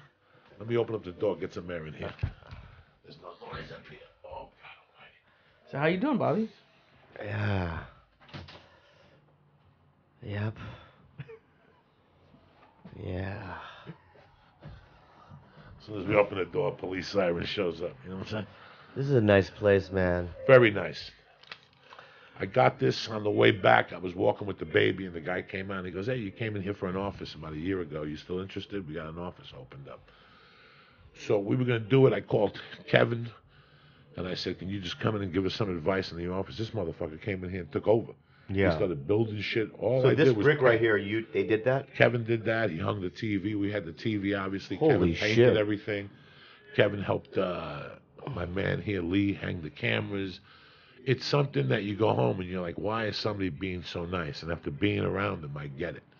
I get it. You know, there's some people who are just genuinely nice in this town, and we don't expect it Right. because we know it always comes with something. You know what I'm saying? It always my comes card's a- always up or something. yeah, it comes with a by the way of hey man, we want you to do this gig or something, whatever. He's just been really cool, and I'm trying to find a way to pay him back. But I know he's one of those guys that uh, he puts it in the karma box. Yeah. You know, some people fill up the karma box. Do you believe do you believe in karma? Yes, I do. I've lived it. I'm living proof of karma. Yeah, but can I ask you something then? Go ahead.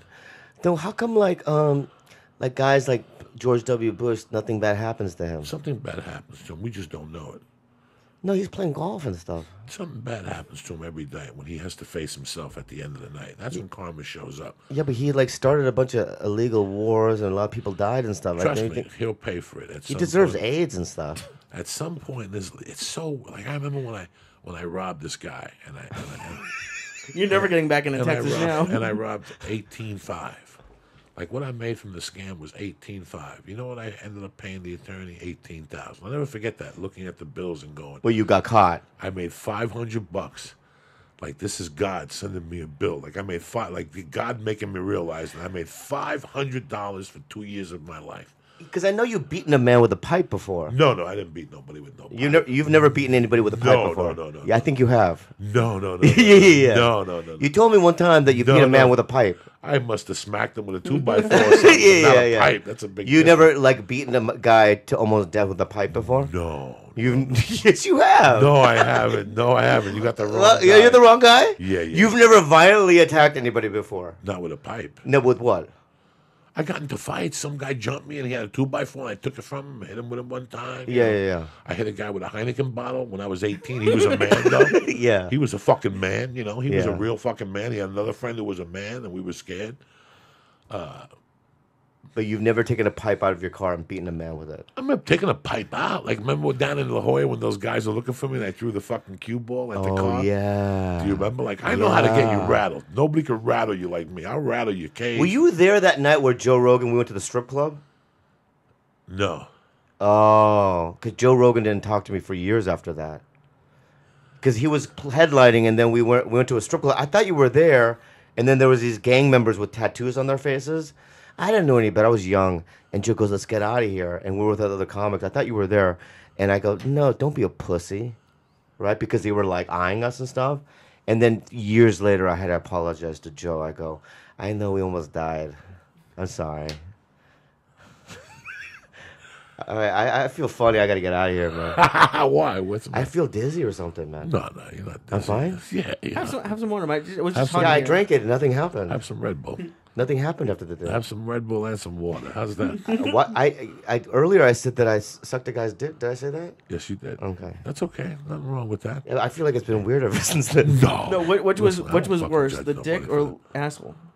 What asshole? Like uh, when you're just licking a girl's asshole. I the dick for sure. I'm not gay, dude. Yeah, but I was thinking about it the other day. Have you ever sucked a dick? No, You've never. nope, Not even once. no. You ever think about it? And then- but I was I, I was thinking about it a couple like last week. For girls, it just must be like hard skin. Like that's all. Like it doesn't What? like it doesn't it, it doesn't taste like anything. Like if you take a Exactly. That's why you should try it. you just, you just said it was worse than eating ass. I'm not gonna do it if it's worse than eating. Ass Yeah, ass. because it's like there's like social implications, and it's like I don't want to be doing this. You know, you're drunk with your friend. Listen to me, man. When I was a kid, I was small. I was this Asian kid, but I had a sexual, a sexual drive. But I grew up in a predominantly white neighborhood. In my high school was 99.9% white, and none of those girls wanted anything to do with me. You know, I always been a, always a dirty Korean. You know what I mean? My father is from. Um, my father was a street guy. My father during the Korean War used to hustle. He never went to school. He was in gangs and stuff, and then he joined the Korean military. But my dad was a hoodlum, so I'm from, you know, I mean, Korean trash almost. You know what I mean?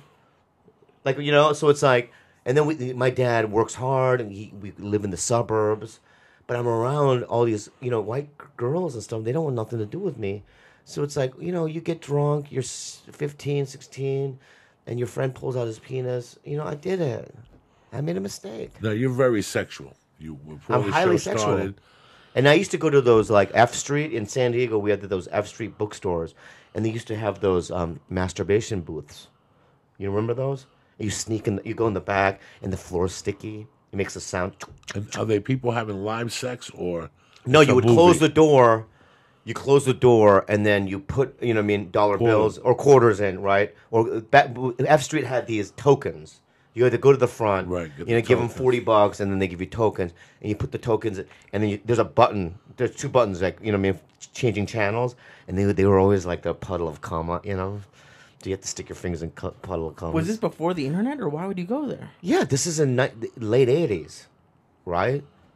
Jesus, so people was that no? They- they had VCRs by then, right?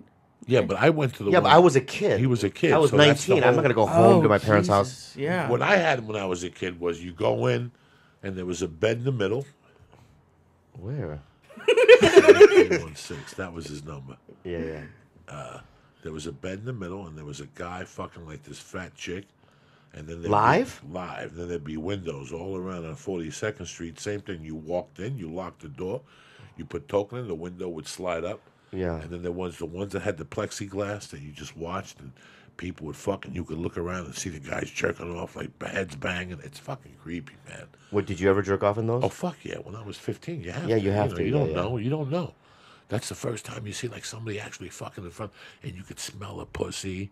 Yeah. You could they smell let the- you in at 15. They didn't give a fuck. They weren't proofing. That's you. probably in the 70s, right? That's the seventies, man. They didn't proof you. Jesus Christ. And you'd walk in, and there'd be a gre- uh, there'd be a fucking janitor, and he'd go into every room when the door would open and somebody would walk out. Before he'd go in there, he'd go in and drop the mop and fucking mop and put it back in with all sperm and shit. And then you go in there, put, and you had to be careful what you touched. And they'd have sex in front of you. I think I did it twice, guys. You know, just being young and stupid. But then there was times I was in the city, and I'd just go in there just to see what was going on, just to see the the desperation. Like I would walk by there at nine in the morning and see twenty people, like Hasidic Jews, Yeah. walking out and going, Really? "Why are you fucking?" You know, they walk out real fast, Hasids, and you know these are people that. It's weird when people let their religious beliefs suppress their sexual. Mm. That's why all these fucking politicians, when they, whenever when somebody tells me they're a Christian, all of a sudden I see them in the bedroom fucking their wife in the ass and smacking them, because they're really horny fucking devils. It's really weird. Like I was really horny when I was a kid, and then once I realized I couldn't get pussy like the rest of my friends, I let that emotion go in a way, and I got That's lucky from exactly time what. to time. That's exactly what I went through. Yeah. And I would say, you know what? Instead of going after women, I'll just masturbate. I'll just Yeah. go home and masturbate, and that'll be the easy thing. I don't have to talk to them or nothing. But then, like in '87, the cocaine turned me.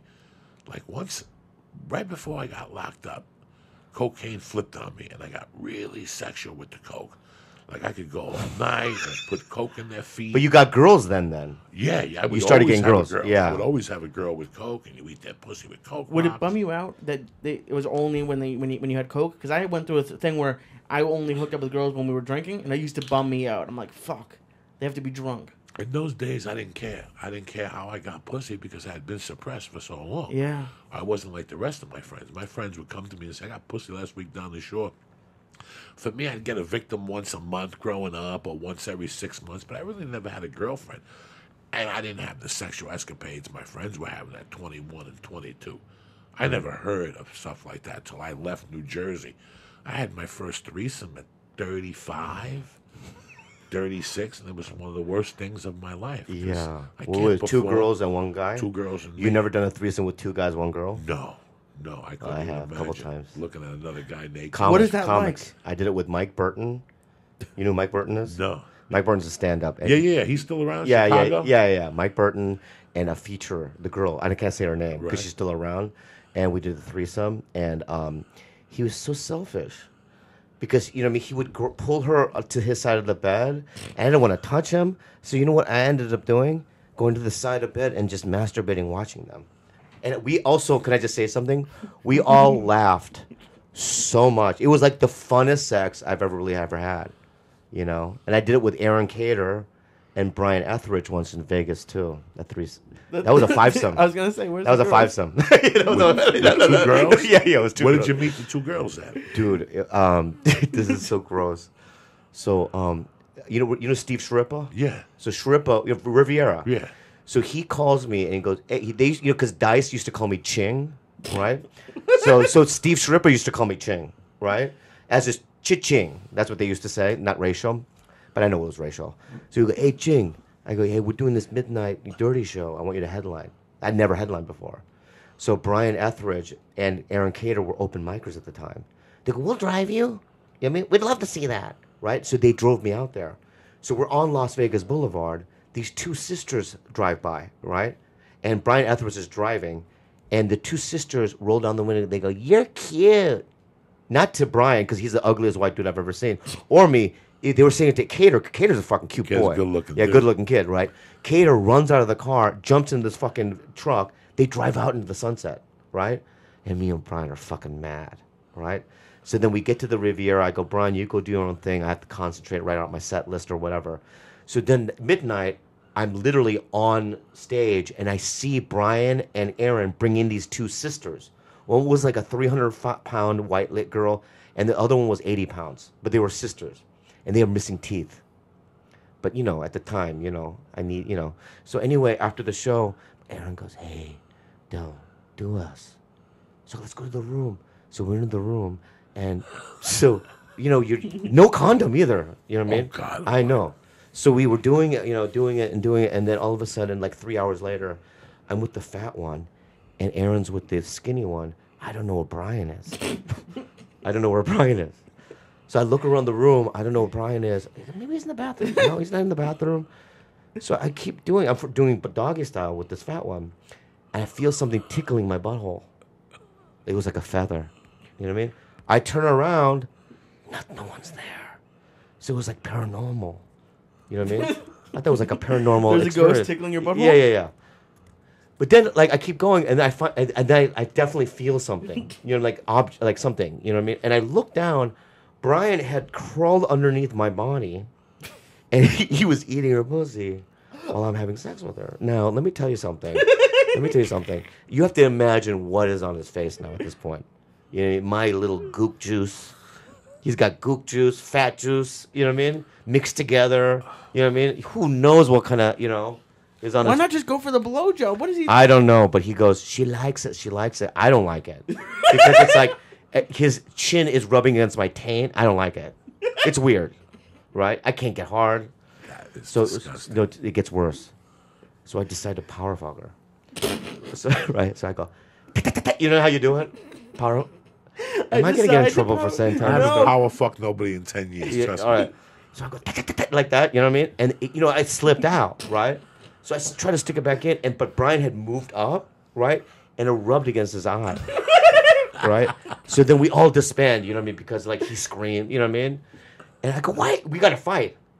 I go, why are you down there? You, you know what I mean? He's like, you purposely. I, I didn't purposely, you know? So then afterwards, we go to breakfast. so I'm taking these two girls out for breakfast. Aaron's there. And we're talking, laughing. I just can't wait to go to sleep. And I look at Brian from across the table. His left eye completely closed with a yellow film. A yellow film had closed it shut, like an adhesive, right? I go, dude, we gotta go to the fucking hospital. He goes, no, I'm good. I go, no, you're not good. You can't fucking see out of that eye. It's like infected. It's red. It's like pulsing, you know, which is his fucking fault, right? So then we go to the fucking um hospital. Right now we no sleep. You know what I mean? It's a disaster, right? And we're I'm in there with them. You know what I mean? With them, we're like, what are we gonna say, right? He goes, I'll just make something up. So the doctor goes, what happened? And he goes, he skull fucked me. He points at me. He says, I skull fucked him. You kind of did. No, Yeah, but not you know, Did you have him check your dick? Because like, what what was on your dick that made his eye close up? dude. It was not just my dick, the juice, all kinds of stuff, man. You don't fucking listen, dude. I can't believe My sh- no, I just I went to the doctor two weeks ago, and I got all tested. My shit's clean, dog. All right, nothing. I have no diseases. You know what I mean? No diabetes. Nothing. You're pretty serious with this girl now. You like I this girl. love- I could tell that you. okay, like her. so check it out, man. how long have you been with her? Three years, oh, two and a half years now. and yeah, yeah. years. Good for you. I'm in love with you. my I can tell that girlfriend. you love her. She, we live together. We have three cats. Um, we have a podcast together called TigerBelly, Okay. and it's doing well. And uh, I just couldn't imagine a better life right now, man. When'd you meet her? Tinder, dude. Dude, I couldn't even believe she Three years ago. Like two and a half years ago, she swiped right. We matched. Well, first of all, I had two nightmare Tinder before that. You know, um, one of the girls, all her photos was just of her face, and she looked like Natalie Portman. But then when I picked her up, she had Michael Chiklis's body, like worse than yours. Like it was just a complete circle, but her face was really cute, really good face. And the other one was a comedian. I want to get into that. Wait, are you on Tinder? Were you on Tinder as Bobby Lee? Yeah, that's the best way. You know Stonestreet from Modern Family? I got him on it too. Eric Stone, the big fat- Eric Stone's no, he's not fat. He's The just big- chubby, dude. With Stonestreet, I went to his house. I got him on Tinder. I cre- cre- we created a pro- profile together, right? It's the best if you're a celebrity, right? It is because imagine. Here's the thing with Tinder, all right? When you and I we live our lives, we wake up, we have our routines. We go to our coffee shop, right? We have, you know, I mean, our errands. Then we do our show at the club. But you have to imagine, people even in LA or in Long Beach or whatever, Pasadena, they have their own lives. They can't make it to the comedy club, right? So it's like you're never gonna run into them, right? But the Tinder, it it just it you know it, you just have more branches out there. And Khalyla was always a fan of mine, right? But we just she never just came to my shows. And so I met her for coffee, and as soon as I sat down and we we had coffee together, I just I remember going fuck in my head because I knew I'm in a relationship. The first time I met her. I already knew that this was going to be a thing. You know what I mean? You know how you can tell when you meet somebody. You just look in their eye and go, yeah, this is going to be a fucking thing. You just there's a connection, and uh, yeah, we're I you know can tell. Yeah we're when I see together, and we have a really good um, connection, and you know we've had we've had we've had our problems. Everybody does. Yeah, it's hard relationships. What does she do for a living? Oh, she's a comedian. Okay, yes. Well, no, she stopped doing that, but she um, I don't want to get into it, but she has a heart situation. okay. She has a physical situation and she can't work right now. So instead of doing, you know, I mean, we decided to do a podcast together so that we can create maybe a business together, you know, and it's going really well. So yeah. You look good. You look healthy. Thank you. everything. Fourteen fucking years sobriety. yeah, Seemed like yeah. How many doors opened for you after you got sober? it took me years, dude.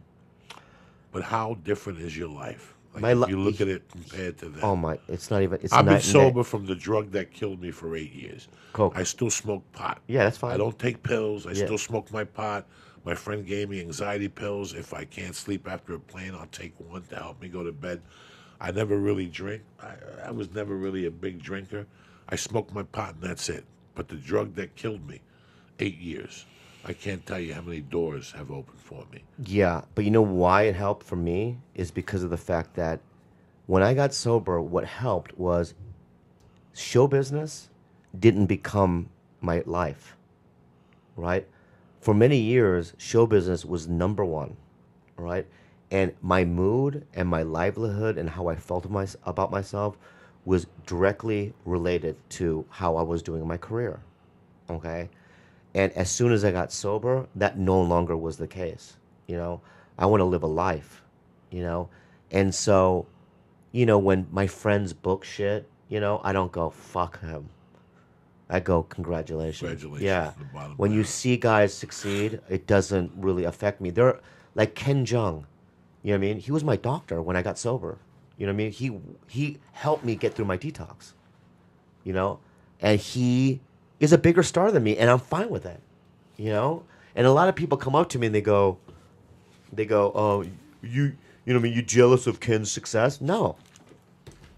Why would you be? Why would I be? He's a talented guy and I'm fine with it. It's those people that hate, and you know the people that naturally hate. You could see them. When you first got Mad TV and you walked into the comedy store, there was some people who gave you a big hug, and there was some people who gave you a fucking Michael Corleone Fredo hug, and you felt it. You were Yeah. like, Jesus Christ, why are you like this? And they, you know, and that's going back to what that jerk off said about you that night that you're just an actor guy. That's even that day on the tweet with me. He was saying he said that I was on his jock when he got his deal. I wasn't even at the store when he got his deal.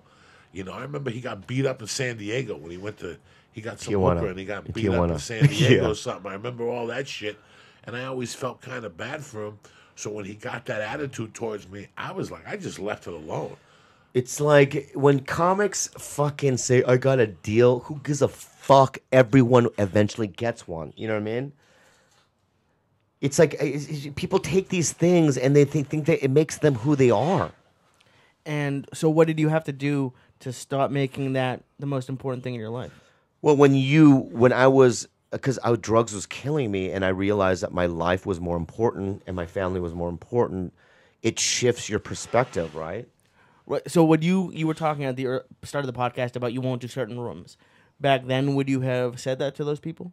What do you mean? Would you have told the manager at the Kansas City, "No, I don't want to do your room anymore"? I wasn't even doing. I was so drugged out. I wasn't even headlining then. I only headlined uh, because I was still on Mad TV.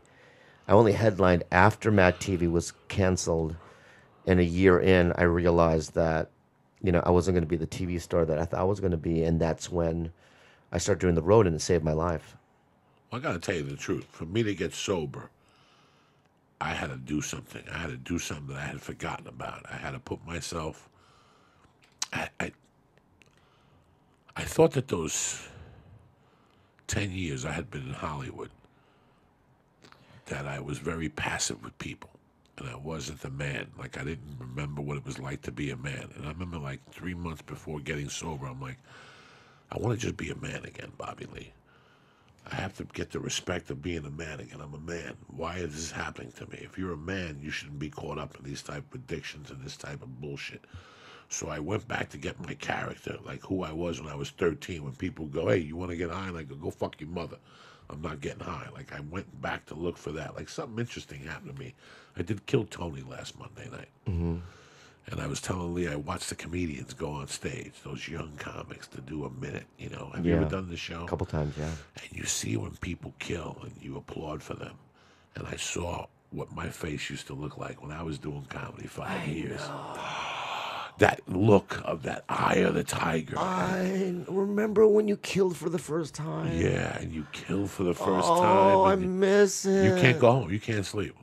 You nothing. For nothing. fucking a week, You you could can't eat sleep. heroin by the ton and you will not fall asleep. So why isn't it as exciting anymore? Like, what check it, changed? check it out, check it out. Okay. Okay. I didn't get any pussy ever, right? Until I was 23 years old. Okay. I used to go get, you know what I mean? I go, I go, go, go to a brothel in Tijuana. Okay. When I was 23 years old, I was a doorman at the comedy store. Okay. This is in 1995. And one Saturday night, the manager let me um, host in front of a packed room. So I went up and I fucking killed for the first time. You know what happened? Not only did that happen, but that night, a girl called the fucking club and says, "Hi, my name is Jennifer. Is Bobby Lee the comedian that was a doorman there? He went up. Is he there?" Fred Burns gave me the fucking phone, and she goes, "I just think really, you're really cute. Are you single? This and that." No way. Yeah. So I swear to God, three days later, I'm in her house in Oceanside, California, and I'm eating her pussy, and, and I'm going. Not only did I kill for the first time, but now I'm getting chicks. It literally was the birth of me. Someone called a. Not, I thought it was gonna be like an agent to book you for something. They called because they thought you were hot. Yeah, and her name was Jennifer Field. You know, that was her name. She was this cute blonde white chick from Ocean View Side, California. I only say Ocean View because that was my first rehab when I was 16, but that was also in Oceanside. But um, yeah, and I went to her house, and I remember it just being a a spiritual experience for me. So so. I mean, you must have gotten laid other times from comedy. Since then, yeah, I've been Yeah. killing it. But my point though is, is that you know, But when you the- remember it was that the first first, one. time, yeah, and the first time killing. You know, what I mean, and I, it's like, you know, yeah, I can, I kill. I guess now when I'm on the road, it's my audience, and I do well on stage. But it do, you cannot capture that feeling for the first time. You chase that. It's like addiction. You Yeah, chase you chase that feeling. The reason why we're still here 20 years later is we're chasing that fucking Yeah, yeah, first yeah, laugh. yeah, it's, yeah. it's a fucking tremendous. The, the first kill and the first time you get on stage, you cannot describe it. You cannot describe it to anybody. You cannot describe it. It's just a beautiful fucking thing. The adrenaline. Oh my God, that adrenaline. You know, I was telling them when you headline four shows on Sunday morning, you're sore. You're fucking sore when you get on the plane. You're like, why am I sore? Yeah. Because I've been fucking working. yeah. I'm working. I'm moving. I'm changing positions. Your feet are sinking into Not only fucking that, but fucking Friday morning, you gotta wake up at five in the fucking morning to do a press tour. You know what I mean? And then like you don't, then you don't get any sleep. Your diet's fucked up. You don't know where to eat. You know what I mean? So you ha- eat a hamburger at McDonald's on the way to the show. I mean, it's like it's not easy. Why you look at? Can I have a drag of a cigarette at least? You can do whatever you want. Are you sure? yeah, you can do whatever. Because it's like, you know, I mean, that, you know, I think I'm getting buzzed from your thing. So maybe I'll smoke a cigarette and help me. smoke a little cigarette there. Yeah. Never Um, kill nobody. But yeah, I mean, it's tough. But you know what, guys? Can I say this? Anyone listening right now, I think the moral of the story is this: is is that Joey and I. A lot of people don't like me. You know, what I mean, I have my haters. You know, what I mean, but I have a lot of fans also. And the reason why I have the, I have my girlfriend's beautiful. And the reason why I have all these things is not because I'm unique or special. It's because of the fact that a long time ago, I did a scary thing, which is choose to do stand up. All right. The first time you go up, it's very scary. Like your heart's, you know what I mean, beating, you're shaking, you know what I mean? You convince yourself, don't do it. You know, I had a friend, Randy, who made me do it the first night. You have to do it. I'll never talk to you again. I went up there, and it's like literally jumping out of a plane. You know, like your adrenaline. You know what I mean? And I just remember making funny noises on stage because I didn't really have any jokes. So I went up and I went, right? And I did that for three minutes because I knew that I'd make Randy laugh, right? And then afterwards, people were like, "That was fucking weird," right? And then like a month later, I did open mics at the comedy store, right? And Paulie saw me go up, and I did the same thing, the noising noises, right? And then I was just, you know, no joke, but just acting really weird on stage. And Paulie goes, "Dude, you're fucking weird, brah." I go, "Oh, thanks." He goes, "I want you to open for me in Vegas." And then, dude, I'm not kidding you. Two months after that, this is like three or four months into comedy. I opened for him in front of five thousand people at the top of the Riv. You know what I mean? But my point is, is this is that I fucking did it. I walked through that fear. You know what I mean? And I religiously made myself do something that was that scary. And I just really believe that if you want to have a big life, you have to take big risks you have to say fuck it and just go for it. You know what I mean? And I know you, we, you and I don't appreciate, you know what I mean, that part of ourselves because it's just innate in us, and we we already did it. You know what I mean? But it is a fucking crazy thing that we chose to even do this in the fucking first place. You know I mean? And look at what it's got us. I mean, you talk about, you know what I mean, you, you being on set with Tracy Morgan and you know, Adam Sandler for that movie. You know what I mean? You know, a couple years ago, I was on The Dictator. I did scenes with Sir Ben Kingsley and Ed Norton. You know what I mean? And I'm like sitting on a couch talking You to can't them. believe it when it's happening. Oh, when it's happening, you're like, I, can't I'm an it. open. I was an open, Open micer. micer. Why is this guy Yeah, this is great. Like Ben Kingsley, like, hey, um, so um, when you tell me the that line, you know, just slow it down a bit so that I, you know, and really connect. And in my head, I'm like, I can't fucking believe I, I don't even know what the fuck I'm doing here. Like, what the fuck am I doing here? I don't even. I've never take a class. I don't know nothing. It's really fucking. It's crazy. fucking crazy, It really right? is crazy. and, and and yet you know you you're in these situations because not because you, I'm talented or But I'm you are I'm talented. I'm not. Like, isn't? Don't you have? no, no, no. It's not. It's not talent. That's what. Listen, that's not the talent. best thing Conor McGregor has ever said in his life.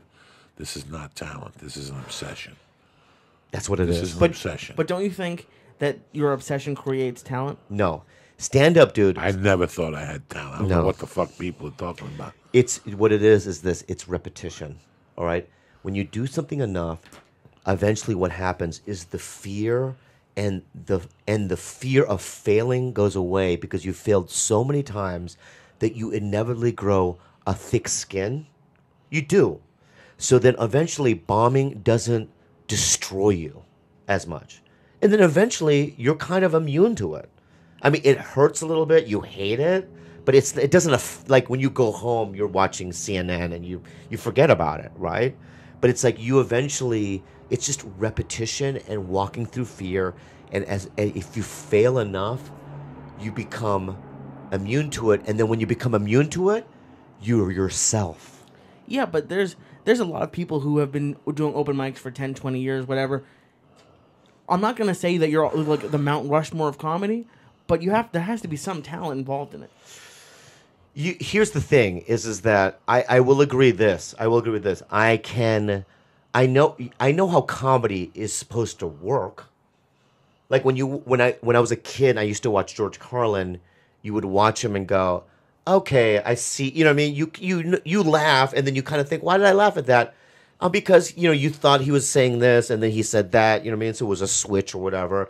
So you you learn you know as a kid you analyze like why a joke works but it's like i'm fucking you know i i'm not talented. I really think, and I've thought this for a while, that and actually Denzel had a line about this in uh, Gangs of King of Gangs of New York, whatever it was, um, where he said like the loudest person in the room is the weakest one in the room. I think that if you think you're good at something, you're probably not great at it, and if you think you're terrible, like what you think you're terrible at, it's because you have so much pride or so much so much love for it that it's never going to be good enough, even when it is. I laugh. Well, Every movie, when I get on every movie and I do a take, I giggle inside. yeah Like when they're like, "All right, you ready for your scene?" and I walk out on set, and people come up to me like, "Mr. Diaz, Are you okay? I'm like this poor bastard. You know, like Yeah. these people. I don't even know how I got here. I don't like how did I get hired for this shit? If these people knew that 20 years ago I was crawling through a fucking window to steal somebody's blow. if they only fucking knew. Like I can't believe I'm on this fucking set with these nice white people and, and people with a lint brush taking lint off my shirt and trying to make me look nice and you're like, why? Yeah, when I was on animal practice, right? I would show up an hour early. Like, how come you're here, here earlier? Because I can't fucking believe you even want me in this. Yeah, I can't believe you. Why? I don't want to get fired. you know what I mean? You can't believe I can't believe it. I'm I'm doing scenes with a monkey. There was like a monkey one time. I had to do a dialogue scene with a monkey, and the camera's on me, but it has the back of the monkey's head, and I'm killing it. Like I'm like, and then they're like, we have to do it again because the monkey's head moved, and I'm like, and they're like, we're so sorry. I go, fuck it. You know what I mean? I'm doing a scene with a monkey. Like this is not supposed to ever happen. They have no idea. I'm supposed to be dead. Like I don't Yeah. like when I see people who take shit seriously in this business. Yeah. It drives me crazy. What do you mean by taking seriously? when I go on a set and like, like I was on a set with this really so-called famous director on a TV show. TV show sucked, and the director was old and he was out of fucking touch, but still in Hollywood he counted for something. And I get that he was blasting music, like it was the loudest music I ever heard on set. In my world, a star does that. You know what I'm saying? Like Brad Pitt could do that. Like you know, the director, I go, what's going on? They're like, well, the director is good friends with Bruce Springsteen, so he likes to listen to him loud. Well, fuck that punk ass bitch. Yeah. Like that set was misery for me because there was ego, so much ego all the way on the way up. You know what I'm saying? There was so much ego that I did a commercial once where the, you know you could always if I could tell who the director is by his outfit. Yeah. I don't wanna work Who was, it. what- so you did a commercial. Who was the director? I don't know what his name was. Uh, but he was uncomfortable. Very uncomfortable. And I got into an argument with him, and he never messed with me again throughout the whole It production. was. It wasn't Joe Pitka, was it? No, that's my boy. You love Joe Pytka? Isn't he's the guy that, that books a lot of commercials or something? No, he's a director. He's He's, a like he did like the Bo Knows campaign. He did. He's supposed to be like the Spielberg of. Joe Pytka directed me in the Taco Bell commercial I did with the dog. Oh, you did. Yeah. Yeah, yeah. He had a company. Yeah. He put me in three commercials, that dude. Yeah, you made a lot of money, right? Yeah, he put yeah. I did twenty commercials. You know what he used to say to me? He used to call me pan face gook. Joe Pytka. I Yeah. forgot that fucking He name. fucking told a fucking girl that was he had hired. You have whore hair. You look like a whore. he was crazy. He was fucking crazy. And he was the only man that I ever worked for where literally I was scared shitless 24 7. Like, I remember, like, you, I, I did a commercial for him and I go, I'll never work for him again. And then, like, eight years later, I get a call. Joe wants, because this was when I was on Mad TV, he goes, he wants to do another IBM commercial. I go, you know what? I could handle it because you know I've already done it. You know what I mean? I could get as soon as I said uh, on this, I literally pee was coming out of my penis. Big he- guy, right? Yeah, he's tall. He has Tall. white hair. Yeah, big guy. Yeah, big he guy. retired. He was a legend. Like he was Legend. the best commercial director of all time. Okay, right? let me tell you his solid with your Uncle Joey. Yeah. He hired me for the first Taco Bell commercial with the dog. Yeah. It was a Miami commercial. I got the call back. It was shooting on the 3rd of July, 4th of July, 5th of July. I get down the 3rd of July and they go, Amen. they cut the commercial. But Joe wants you to hang out here for the three days and they're still going to pay you. I Oh said, my okay. god. I said, okay. Well, day one, I eat, I don't say nothing. I'm very happy just to be on this set. Day two, during lunch, you know, we're doing our thing. Yeah. I'm doing Joey, you know. Some guys are fucking with me, I'm fucking with them. He heard my voice. And he came over to me after lunch and he goes, Stick around today. I'm to put you in this fucking commercial.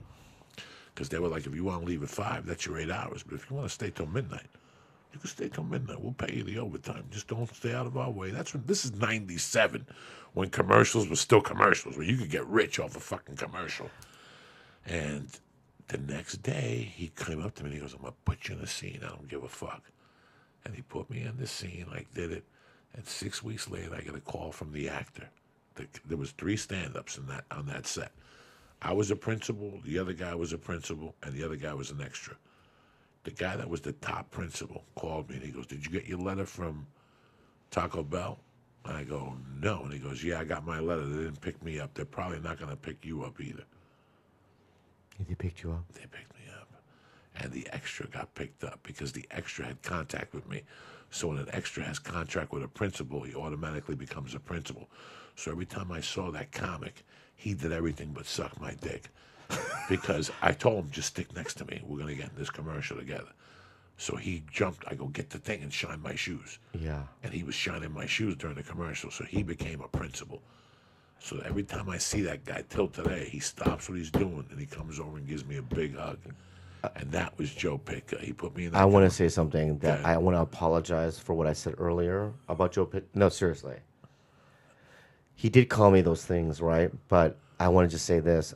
I he gave me a commercial once where I made three hundred fifty thousand dollars. No, you did. I swear to God, I did. No, you did. Yeah, Not, it was a campaign for IBM. Wow. And I um I want to apologize to Joe. Thank you so much for that. You know what I mean? I was uncomfortable during your sets because I mean on your on your set because I felt intimidated, but I just want to thank you for putting me in your commercials, and I really apologize. He for, put me in three fucking I'm, commercials. yeah, I want to apologize. You're the best, and that's it. You know what? Your fucking marijuana smoke got into my mind. Let me call do these things. Okay. Let me give some shout outs. Brian Nelson, Paranormal, Diane Mateo, Julio Villalobos, Villalobos, Chris McDougan, Andrew Nelson, LeVar Michaels, and Joey Zaza Tweets.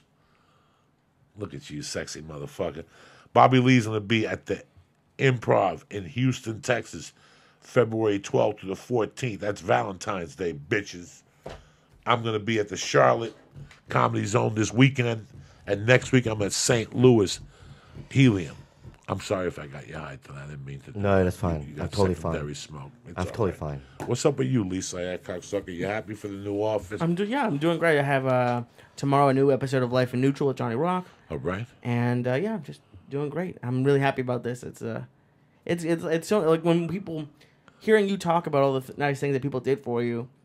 This is the ni- this this is the nicest thing that anyone's done for me. This is the. Oh man, what? No, I mean, I mean, no, but it, it's this is and what you guys. I mean, it's it's a different thing, but for me, You gonna cry Com- right now? no, oh, well, who knows?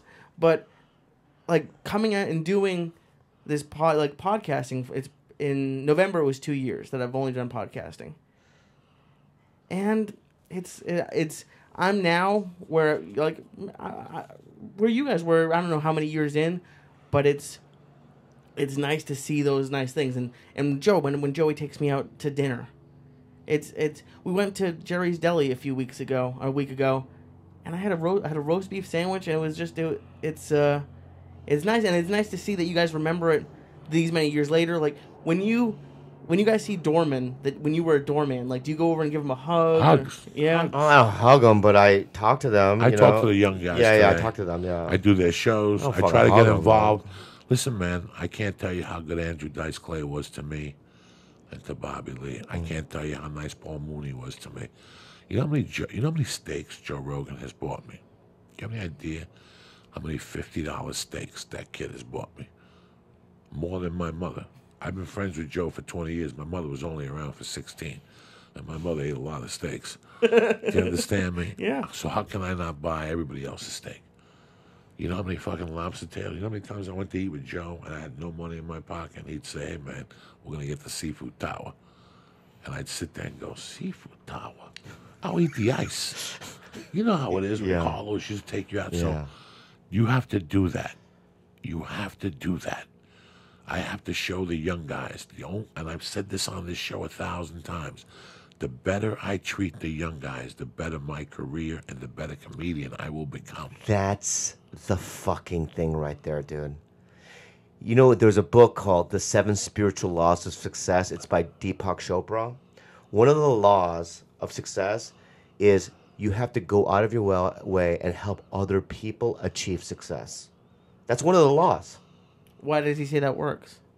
Well, there's a bunch of stuff that's in there. You have to meditate and all that stuff, but it's just Uh, it's a karmic. It's, it's karma, I believe. It's it's you know if you help people achieve success, it's selfless, right? It's not about you. And I think just energy wise, it just comes back at you, dude. You have know? to generate your own energy. When you go to yoga, you open your chakras and you generate your own energies. You have kinetic energy and it becomes potential energy, not by you sitting there like a putz, but by doing. You know, this podcast is about, I bring a thousand people on this podcast that we've all had the same struggle. We've all started at a place when we sucked. Nobody liked us, and then we saw the evolution of man. We saw how, how there were people who didn't like you 10 years ago, they'll suck your dick now. you follow me? Especially when yeah. you on Mad TV. Right or wrong? Yeah. There's people that stop talking to you after Mad TV. Yeah. You learn about human, but all you can do is never get bitter and keep looking at those younger guys, give them hugs, tell them they did great because this is what happens. When I see you and I go, you're hungry, whatever, a steak, whatever the fuck you want, it just makes me a better comic and a better man. And that at the end of the week, every day you want to be a better fucking man. I struggled in a drug addiction for years where at the end of the night I would cry myself to sleep because this isn't the life I chose. It was the life I had been caught up in. But every day you struggle. And when you see somebody and you help somebody out, and it doesn't have to be financially, Bobby Lee, it could just be going up to somebody and going, Bro, that was a great set. Yeah. That was a great joke. Yep, yep, yep, yep, yep. Not me sitting in the back and going, ha! When Bobby Lee does a funny joke. That don't do nothing for nobody. That just makes you a fucking jack off like everybody else.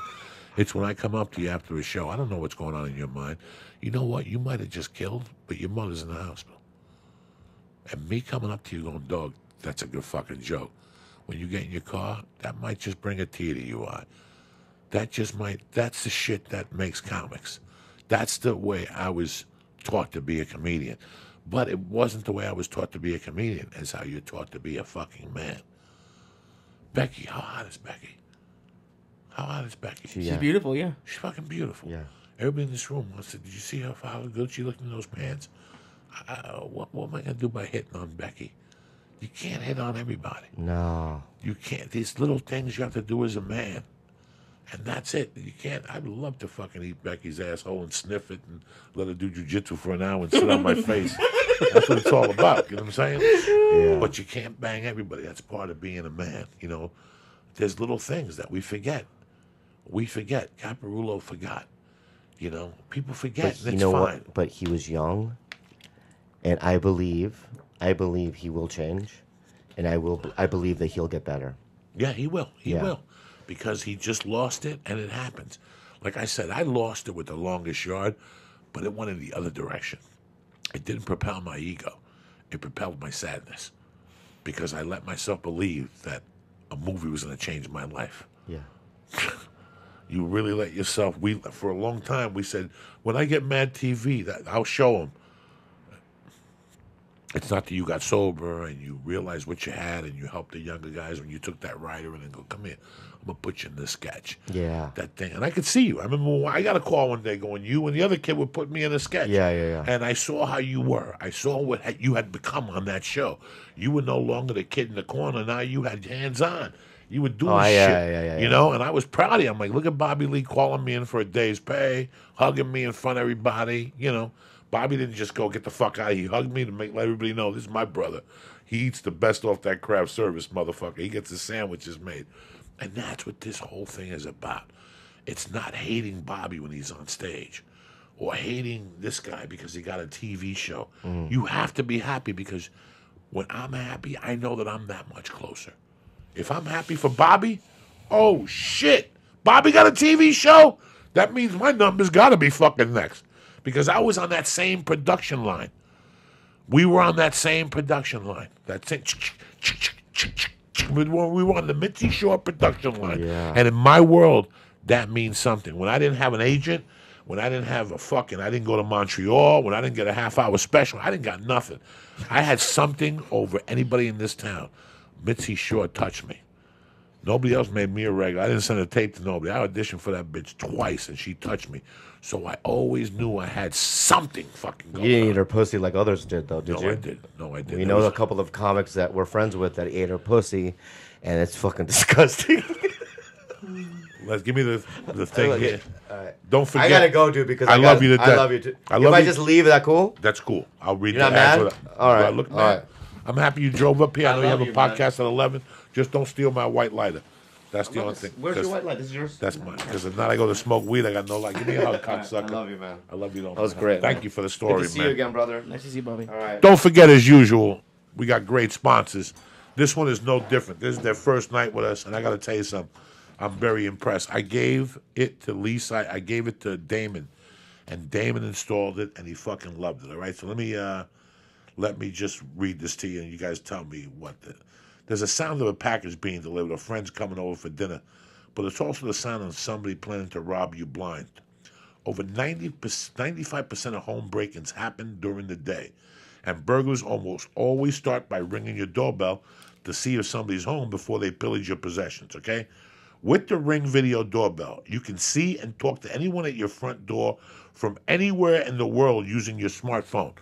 So if somebody rings your doorbell, and let's say you're, you're at yoga and you see this guy, you could get on there and tell him you'll be home in an hour or 10 minutes or whatnot from anywhere, okay? Ring's advanced motion detection alerts you. Even if someone doesn't ring the doorbell, it's like the caller ID for your home. With the Ring Video Doorbell, you can talk to delivery people and keep an eye on your package. If someone tries to mess with it, you'll get an instant alert and HD video, the whole thing. It's like having a neighborhood keep an eye on your home 24 7 without the judgment. Okay? Let me tell you something. I used to be a burglar. And this is the way to catch a burglar, anybody in your neighbor, because it's got motion detectors. So it'll turn the lights on. You connect this to your doorbell. It works in a thousand different ways. Installing the Ring Video takes minutes, and it works either with your current wiring or a built-in rechargeable battery. Put your mind at ease and protect your home with the video doorbell. Time Magazine and USA Today named one of their top 10 gadgets. My listeners, ready for this one? People who listen to the podcast will get a free expedited FedEx shipping when you go to ring.com slash church. Again, that's ring.com slash church. That's all you need to do. We're going to get you FedEx shipping free. With the Ring Video Doorbell, you're always home. Do me a favor. Start by going to ring.com church now, but go to ring.com. I want you to do that favor. See how this product works. You know, I'm not really good with gadgets. I don't know if Lee took a look at it, but just from what I was talking to Damon, this bell is tremendous. It's it, go, it goes right to your phone. It looks it looks like you're having like a FaceTime video call. Yeah. And it, it goes right to your phone, and you can even pretend like you are home. Oh, I'm just stuck in the sh- I'm stuck in the shower. Can you come back in 15 minutes? It's, it's tremendous, guys. But do do me a favor. Go to ring.com right now. That's how it starts. Go to ring.com, read everything about it. If you like what you see, press in church, and bam. You get free FedEx shipping when you go to ring.com slash church. That's ring.com slash church. And as usual, I'd like to thank my main sponsors over there at onnit.com. Always, always with the best product. If it's not the hemp force protein, it's the T at. I mean, they just have stuff every time I go to their webpage. I'm in shock. But I always think, you know me, I'm an old fashioned guy. The Shroom Tech Sport, the Shroom Tech Immune, and the Hemp Force Protein, I live and die by those. I live and die with. I had a Hemp Force today after I took Mercy to the park. I love that with my banana, my water, a little, a little bit of sugar. Tremendous, guys. Anyway, don't listen to me. Go to onnit.com right now. If you see something you like, go to the box and press in Church. and get 10% off your first order. And this again, like Ring and all my products, get delivered to your door, okay? This gets delivered to your door. If you want to get on the Stay On It program where they deliver different packages to your door every month, just let them know. They have the Stay On It program, you get an additional 10%. I'd like to thank our new sponsor, Ring.com. Go to Ring and see all the advantages that doorbell gives you. I'd like to thank Onnit.com. I'd like to thank Bobby Lee and my main man, Lee Syatt. You happy, cocksucker? I'm thrilled. Thank you, buddy. It was uh, this is fun. It's it's gonna be a lot of fun in the studio. be a tremendous one. We'll be back Wednesday afternoon. It's just me and Lee and a call-in show. I love you guys. Thank you very much. And as usual, should we play some music, a little turntable music for you Absolutely. motherfuckers? Let me do the ad real quick. and we'll- just to show you guys what we got here tonight. I'm gonna play a little bit of fucking. Uh, let's see. I'm gonna play what I was playing on the Periscope. How about a little bit of uh, in through the Out Door in the evening? How's that, motherfuckers? Sounds good. This show is brought to you by Ring. Go to ring.com slash church right now to get free expedited FedEx shipping. It's ring.com slash church for the brand new best video doorbell on the market. Show is also brought to you by onnit.com. Use code word church to get 10% off all of the great optimization products. Thank you again for listening. See you Wednesday. Have a great Tuesday. Good night, cocksucker. In through the Out Door. Like I said before, 1979. A tremendous fucking album.